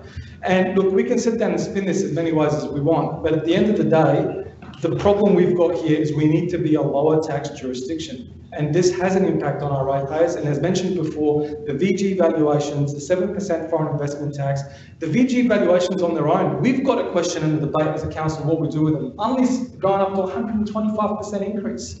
What are we going to do? Are we going to be passing that valuation to our ratepayers, business and commercial? I know we don't at the moment because we value through rental return, but do we have to? I mean, what are we going to do? How are we going to pass on that increase? What will the rate increase, is that two minutes or one? One more, please. Yep. This is a perfect example. If you can't convince people with reason, you just confuse them with bullshit. That's exactly what we see in this chunk. You know, by, from some of the councillors. Uh, when you see agree, agree with the Liberal Party, that's when you know something's wrong. That's when you know something's wrong. It's like, wow, what, what, what, what just happened? We, we aren't in Parliament That now, Senator, reality. sorry, councillor. Can we just, okay, members? I object to the language. Oh, what language? I didn't call anyone anything. We've heard worse. Oh, I've heard what, much worse. I might have heard much worse in this chamber. Councillor Abraham, that I've heard much worse. Councillors? Thank you. Deputy Lord Mayor, you have one minute. I have summed up, Lord Mayor. I'll leave it here. Great. Thank you. I have councillor Martin.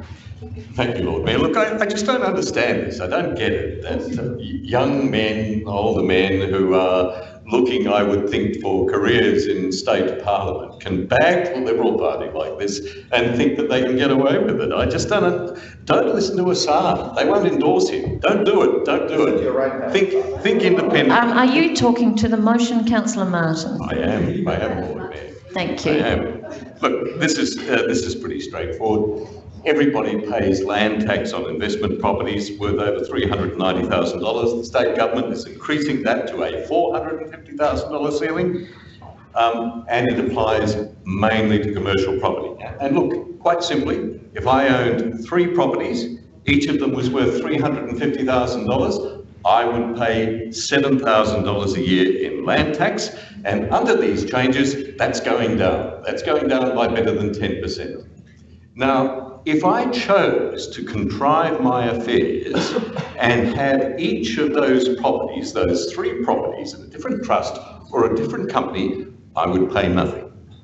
That is what the state is trying to avoid. It says that kind of contrivance is costing $40 million a year to the state budget.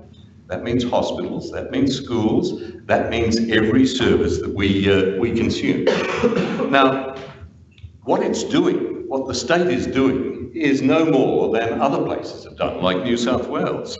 Um, it's saying no more contrived avoidance. Don't listen to Councillor Assad. Martin, you're supposed to be talking through me. Um, Oh, I'm not sure who you're talking to yet. I was looking at the sound board there. No, I wouldn't either. Um, and what we're going to do, according to the state government, Through the chair, thank you. I do. I I am chairing this meeting through the Okay. chair. Is That's the is it second all right? warning, councillor Martin. If you can't address the chair, then I'll ask you to sit down. Thank you, Lord Mayor. Um, can I look down at my notes or do I have to look at you through the process? No, you may look at your notes. Oh, thank you very much. Now, what's not fair about this, Lord Mayor, what's not fair is that Team Adelaide is lining up with the big end of town. It's lining up with those who don't want to spend that $40 million on hospitals, schools, and other programs. Oh, it's as simple as that. Team Adelaide is on the wrong side. Councillors Hyde and Moran, can we please listen to councillor Martin? Thank you, Lord Mayor. That is. I, I, the- I've given everybody two warnings tonight, and I will start invoking the, actually, Regulation 29. If we cannot actually, please get through this motion. Is that the public disorder and morality clause? Councillor Martin, please No, no, I'm continue. asking, Lord Mayor. I know what it is, I know what it is, thank you, Jenny. Okay. It is the disorderly one. Thank you very much. Thank you, councillor Martin, please continue. Thank you. Look, I'm just saying that Team Adelaide might this tonight. It's got the number, so it'll push it through. Point of order, Lord Mayor, his time's up and he hasn't sought a extension from the chamber. Oh, I'm sorry, Lord Mayor, he was interrupting, that's why. Members, one minute. Thank you. Oh, I'm sorry, I missed that. Can I look around and see what the remark was, Lord Mayor? You're uh, wasting your time, councillor Martin. You can use it any way you like. Well, look, Lord Mayor, all I wanted to say is that Team Adelaide's got the numbers. It'll push this through. It'll win it tonight. But night by night, motion by motion, they are losing the support of the ratepayers of Adelaide, the people of South Australia, and let me tell you, tonight, they're losing the support of the state government. We are, as a council, putting ourselves at odds with the state over a matter that is clearly their domain. Thank you. I now have councillor Hyde. Thank you, Lord Mayor. It's a pleasure to rise in support of this motion. Um, uh, and in doing so, to remind members uh, that by supporting this motion, I'm actually supporting my ratepayers. I'm supporting the hordes of ratepayers who have contacted me um, about this issue. And when I talk about ratepayers, um, I'm not really just talking about uh, the rich robber barons. In fact, I'm not talking about them at all. I haven't spoken to any of them. No one's sought me out um, and given me an idea of how it might affect them. What I am talking about, Lord Mayor, um, are the renters, in fact, whose rent is going to go up because their landlord, who does not have that large property portfolio and does not have that much fat in the money they make on the property, is going to need to put up their rent. So I'm talking about those people. Um, I'm talking about the small businesses, Lord Mayor, whose rent is going to go up with these changes. Um, and of course, then uh, we've got other matters to think to it. And you've got to remember that this is this is a very this is a multifaceted policy. Um, it doesn't just affect uh, the big end of town, as we like to call them. And I don't know when that vernacular became a dirty word. I don't know when um, those who are wealth creators in, in the city and in our state uh, became people to be vilified. Uh, perhaps it was when we passed that motion about the register, um, uh, property developer register earlier. But um, uh, Lord Mayor, it affect, doesn't just affect them, it affects mum and dad investors. Um, uh, it affects uh, retirees, self-managed super fund, people who are saving for their nest egg. It affects all of these things. What we're going to see happen um, if this comes in, and of course that is a big if, because the state government have already said um, that they're going to consult widely. They've already started to retreat back from this decision. Um, uh, they know what sort of a mess they have waded into here. Um, and uh, I'd be very happy to see a letter come from this chamber um, uh, uh, uh with Robert Simms' name on the uh, on the other side of that, because I think that actually might outline to them um, what sort of a sticky situation they've got themselves into. How Um, Lord Mayor, Lord Mayor, um, what we're going to see is, is an absolute exodus of investment from the city. We are going to see uh, those people um, who want to build on the many vacant blocks of land that we have in the city with no buildings on them, not have enough capital to reinvest. We're going to see those people um, look to invest their capital interstate. And for the benefit of members, I would actually highlight that yes, aggregation does occur interstate. And I'm not necessarily entirely opposed to the closing of this loophole. Um, but we must remember that if this state government change comes in, we are still the highest taxing jurisdiction. It's about the threshold and it's about the rate. And I would encourage members to look at that. And of course, if we're the highest taxing jurisdiction and you've got a decision whether to invest in South Australia or whether to invest interstate, where are you going to invest your money? I would, I, I don't really need to answer that question. One more minute, please, Lord Mayor. Indulgence. Thank you. Um, uh, so what we're going to see is we're going to see less investment in the City of Adelaide. Um, we're going to see uh, less uh, uh property owners renewing their shop fronts. Um, uh, and that actually means less construction jobs. So um, at a time at a time when the state's economy is still quite fragile, um, uh, we're going to give it another whack.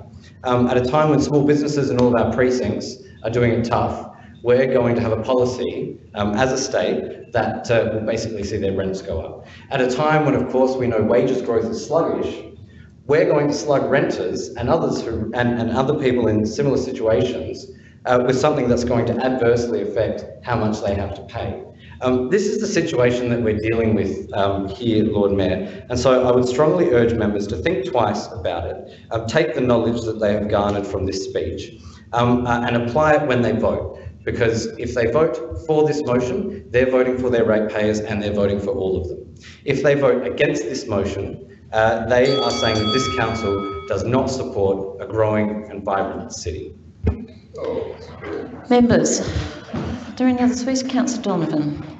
Just briefly, Lord Mayor, to councillor Hyde's points and also to councillor Moran's points, uh, there are two people already in this chamber who have indicated that they would happily close this loophole but reconsider the tax rate. So, and likewise, I would similarly happily, happily close the loophole, therefore not support this motion, but consider a reduction in the tax rate, which is the overarching consideration. This does not respond to the equity issue that is being proposed by closing the loophole, which New South Wales, Queensland and Victoria have already done. But if the suggestion was that we reconsider the rate at which the aggregation is taxed, I would happily support that. I would not support this motion, which is clearly against basic equity principles. Thank you, councillor. Any other members? No? Just, um, just before, uh, finish, I guess, you know, uh, and I've already gone out speaking about it, it's, it's, uh, closing the loophole is, is one thing. What I'm more concerned on is those flow-on effects that have been discussed. And that the transition that's talked about is actually, it happens in a year's time. That's not a transition, that's just a time frame. The rate and the dollar, I agree. I'm more concerned about the rate and the dollar with the aggregation tax. Um, and, but it's also, the difficulty is that um, it's being looked at as the aggregation tax and then you've got your valuer general uh, pilots that are coming through and they actually can't be looked at separately. I think that the effect of the valuer general that's going to have on that land tax and that aggregation is going to be incredibly a huge impact. Um, we've already seen some of them, I think Walkerville, the average was 38%, and what's coming through from Unley at the moment is huge and is being passed on through council rates, through SA Water, through the emergency service levy, and through the uh, Natural Resource Management um, rates. So combined, that is going to actually uh, see one massive slug on anybody that uh, actually owns um, investment properties. Um, uh, I will wait and see how the chamber goes, but um, obviously in writing to the Premier, um, I'm happy to undertake to say how the chamber has voted, um, and I would consider that as part of that um, reconsideration proposal, we maybe highlight the tax rate as well. Um, I'll go back to the Deputy Lord Mayor when he up if he would like that included. Uh, oh, sorry, Councillor Abrahimzadeh, uh, if you'd like that included um, uh, with the motion in terms of um, considering the proposal and highlighting the impact. Thank you, Lord Mayor. Um, in, in summing up, I guess there's probably one thing that, oh, actually, there's, there's a number of things that I want to uh, that I want to touch on. We've heard from multiple members here uh, throw throw the, the term Team Adelaide around like it's a like it's a dirty word. Um, well, I can tell you that Team Adelaide stepped up for the great. That's exactly what we're doing here tonight. Thank you, thank you, Lord Mayor. That's exactly what we're doing here tonight. Um, but also, um, one of the things that uh, that I don't think members are thinking about is uh, this perception that's been created in uh, in changing this uh, uh, this land tax. You know, Councillor Hyde mentioned something uh, about about the the economic environment being a little bit fragile. All you have to do is think think back to the last nine months. In the last nine months, we've had eight builders that have gone bust. Eight builders in nine months. What does that tell you? What does that tell you? We're here as a, as a local government authority to create the right environment for, for growth. That's what we're here for. And you know what? Since we are talking about ratepayers and standing up for our ratepayers, if I may, Lord Mayor, I would like to share a, uh, a brief scenario that a, uh, that a ratepayer um, uh, described to me through an email. This particular ratepayer uh, has a property here, and uh, at the moment, uh, without these changes, they're paying roughly $1,000 in, in the land tax per annum. These changes forces this ratepayer to pay $13,000 in taxes per annum, from $1,000 to $13,000. These, these are the sort of changes that we're talking about. Councillor Moran, please. Thank you, thank you, Lord Mayor. So these are hardworking individuals, hardworking families, hardworking ratepayers that have decided to invest in this state, that have decided to invest in the city of Adelaide, and that have decided to put their money where their mouth is. And I urge all members to support this. Thank you. Members, call for the vote. Those in favour? Six. Those against? That is carried. Councillors, division has been called on the motion. Those in favour of the motion, please rise and remain standing until all names have been called. Councillor Knoll, Councillor Abrahimzadeh, Councillor Hou, Deputy Lord Mayor, Councillor Khera and Councillor Hyde.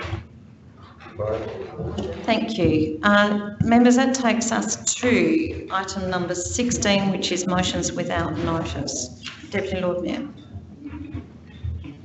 I'll be very brief, um, Lord Mayor. I'll move the motion as um, printed um, on the uh, on the screen there, and I'll seek the seconder. Uh, so I had councillor Abrahimzadeh. Um, members, can I just advise that the reason I accepted this motion without notice is because, um, according to the carols by candlelight, this is time critical. They have only till the end of August before they decide or whether they're able to run the event or not. Thank you, Mayor. I'll be very brief. Look, just, just basically asking if there is any way we can assist. Uh, we have in the past, I believe in 2013, um, assisted carols by candlelight further. Um, at the time, they were experiencing some challenges around sponsorship.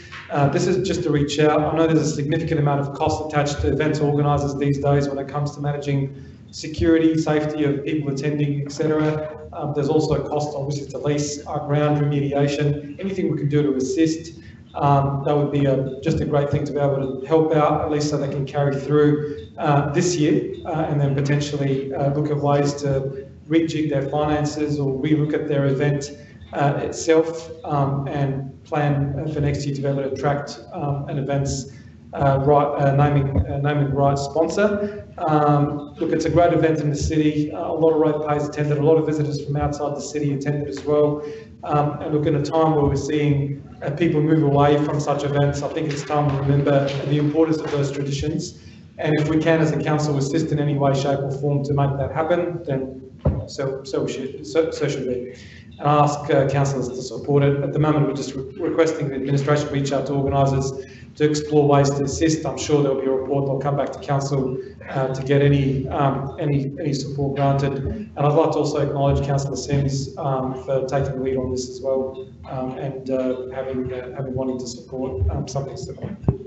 Thank you. Councillor Abraham, did you wish to speak? Members, Councillor Khera?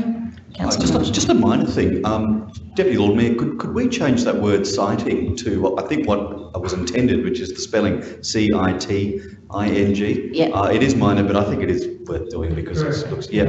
And, uh, look, it's a great motion. I'm fully supported. I suspect it'll be unanimous. I hope it, it will be. Um, but uh, that's really the only reason I want Thank you, Councillor Khera. Councillor Martin? Well, just a question to the administration, would they regard that as uh, being an investigation perhaps of whether we might be able to fund it in any way? CEO?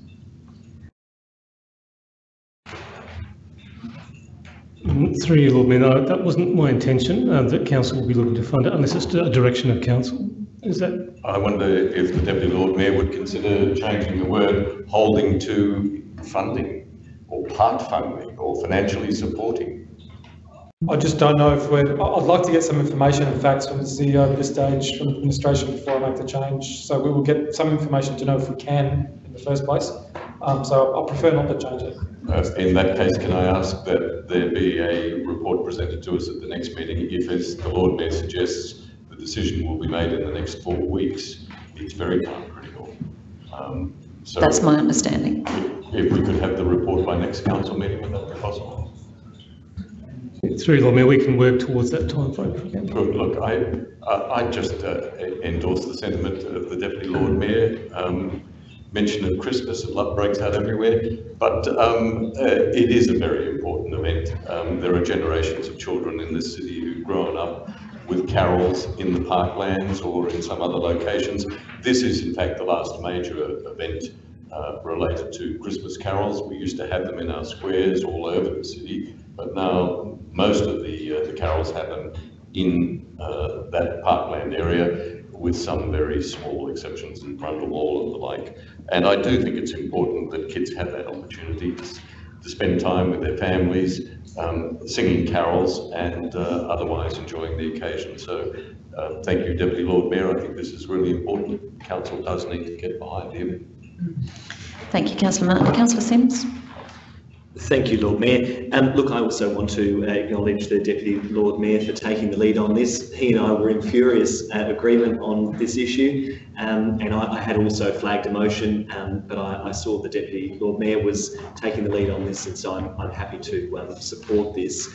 Um, I would like to, um, when we're looking at uh, reaching out to organisers, look at if there is any flexibility within our Christmas budget to maybe increase um, our contribution. I'm not suggesting new funding, but we do have a significant Christmas budget. Maybe there's an opportunity for us to put a bit more money on the table to help. Um, and to also ask the state government if they can contribute um, a little bit more money as well, because that may make it easier for a um, sponsor to be found. So in terms of actions um, for administration, think about what we can do within our existing budget line for Christmas, but also let's talk to the state government and see if they can put a bit more money on the table as well. Um, just to speak to the motion, um, Lord Mayor, you know, I have lots of memories as a, um, a kid travelling into town from Flagstaff Hill to go to the Christmas carols with my mum and dad. And um, I had the opportunity to take them to the Christmas carols uh, last year. You were there as well. Um, Deputy Lord Mayor and I, uh, Lord Mayor and I sat with um, Councillor Knoll um, and his wife and family. Um, and it was a really enjoyable uh, experience and a really great reminder of, I think, the value of these kind of events because whatever your uh, religious perspective or denomination, they bring together the community. Um, and it's a free community concert and um, I thought it was a really great event. So it would be a real shame to see it lost from the city and um, that's why I'm, I'm so supportive of this. Thank you, councillor Simms. Uh, I have councillor Hyde.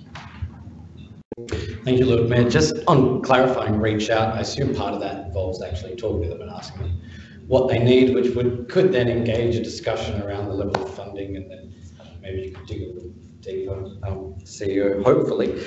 Um, uh, but I would like to thank the Deputy Lord Mayor um, for raising this um, and bringing this to the chamber. And I think looking around, it, you know, it's going to be unanimous, although last time I said that it wasn't. Um, uh, but I think uh, it's a very important thing that we do um, for our community, um, bringing, bringing them all together. Um, I'll admit, uh, I'm a Grinch. I loathe Christmas. Uh, but, but, but I do support this. I do support this. It is important. Um, tradition is important. Bringing our community together is important. Um, uh, and uh, at a time where we're sometimes losing these values, um, uh, all I can say is uh, thank God we didn't go down the path of the city of Mitcham, whereby even uh, flirting with the idea of cutting Christmas, they've all signed their political death warrants. Thank you, councillor Hyde. Members, if not, I'll go back to Deputy Lord Mayor to sum up. Thank you, members. Those in favour? Those against? That is carried.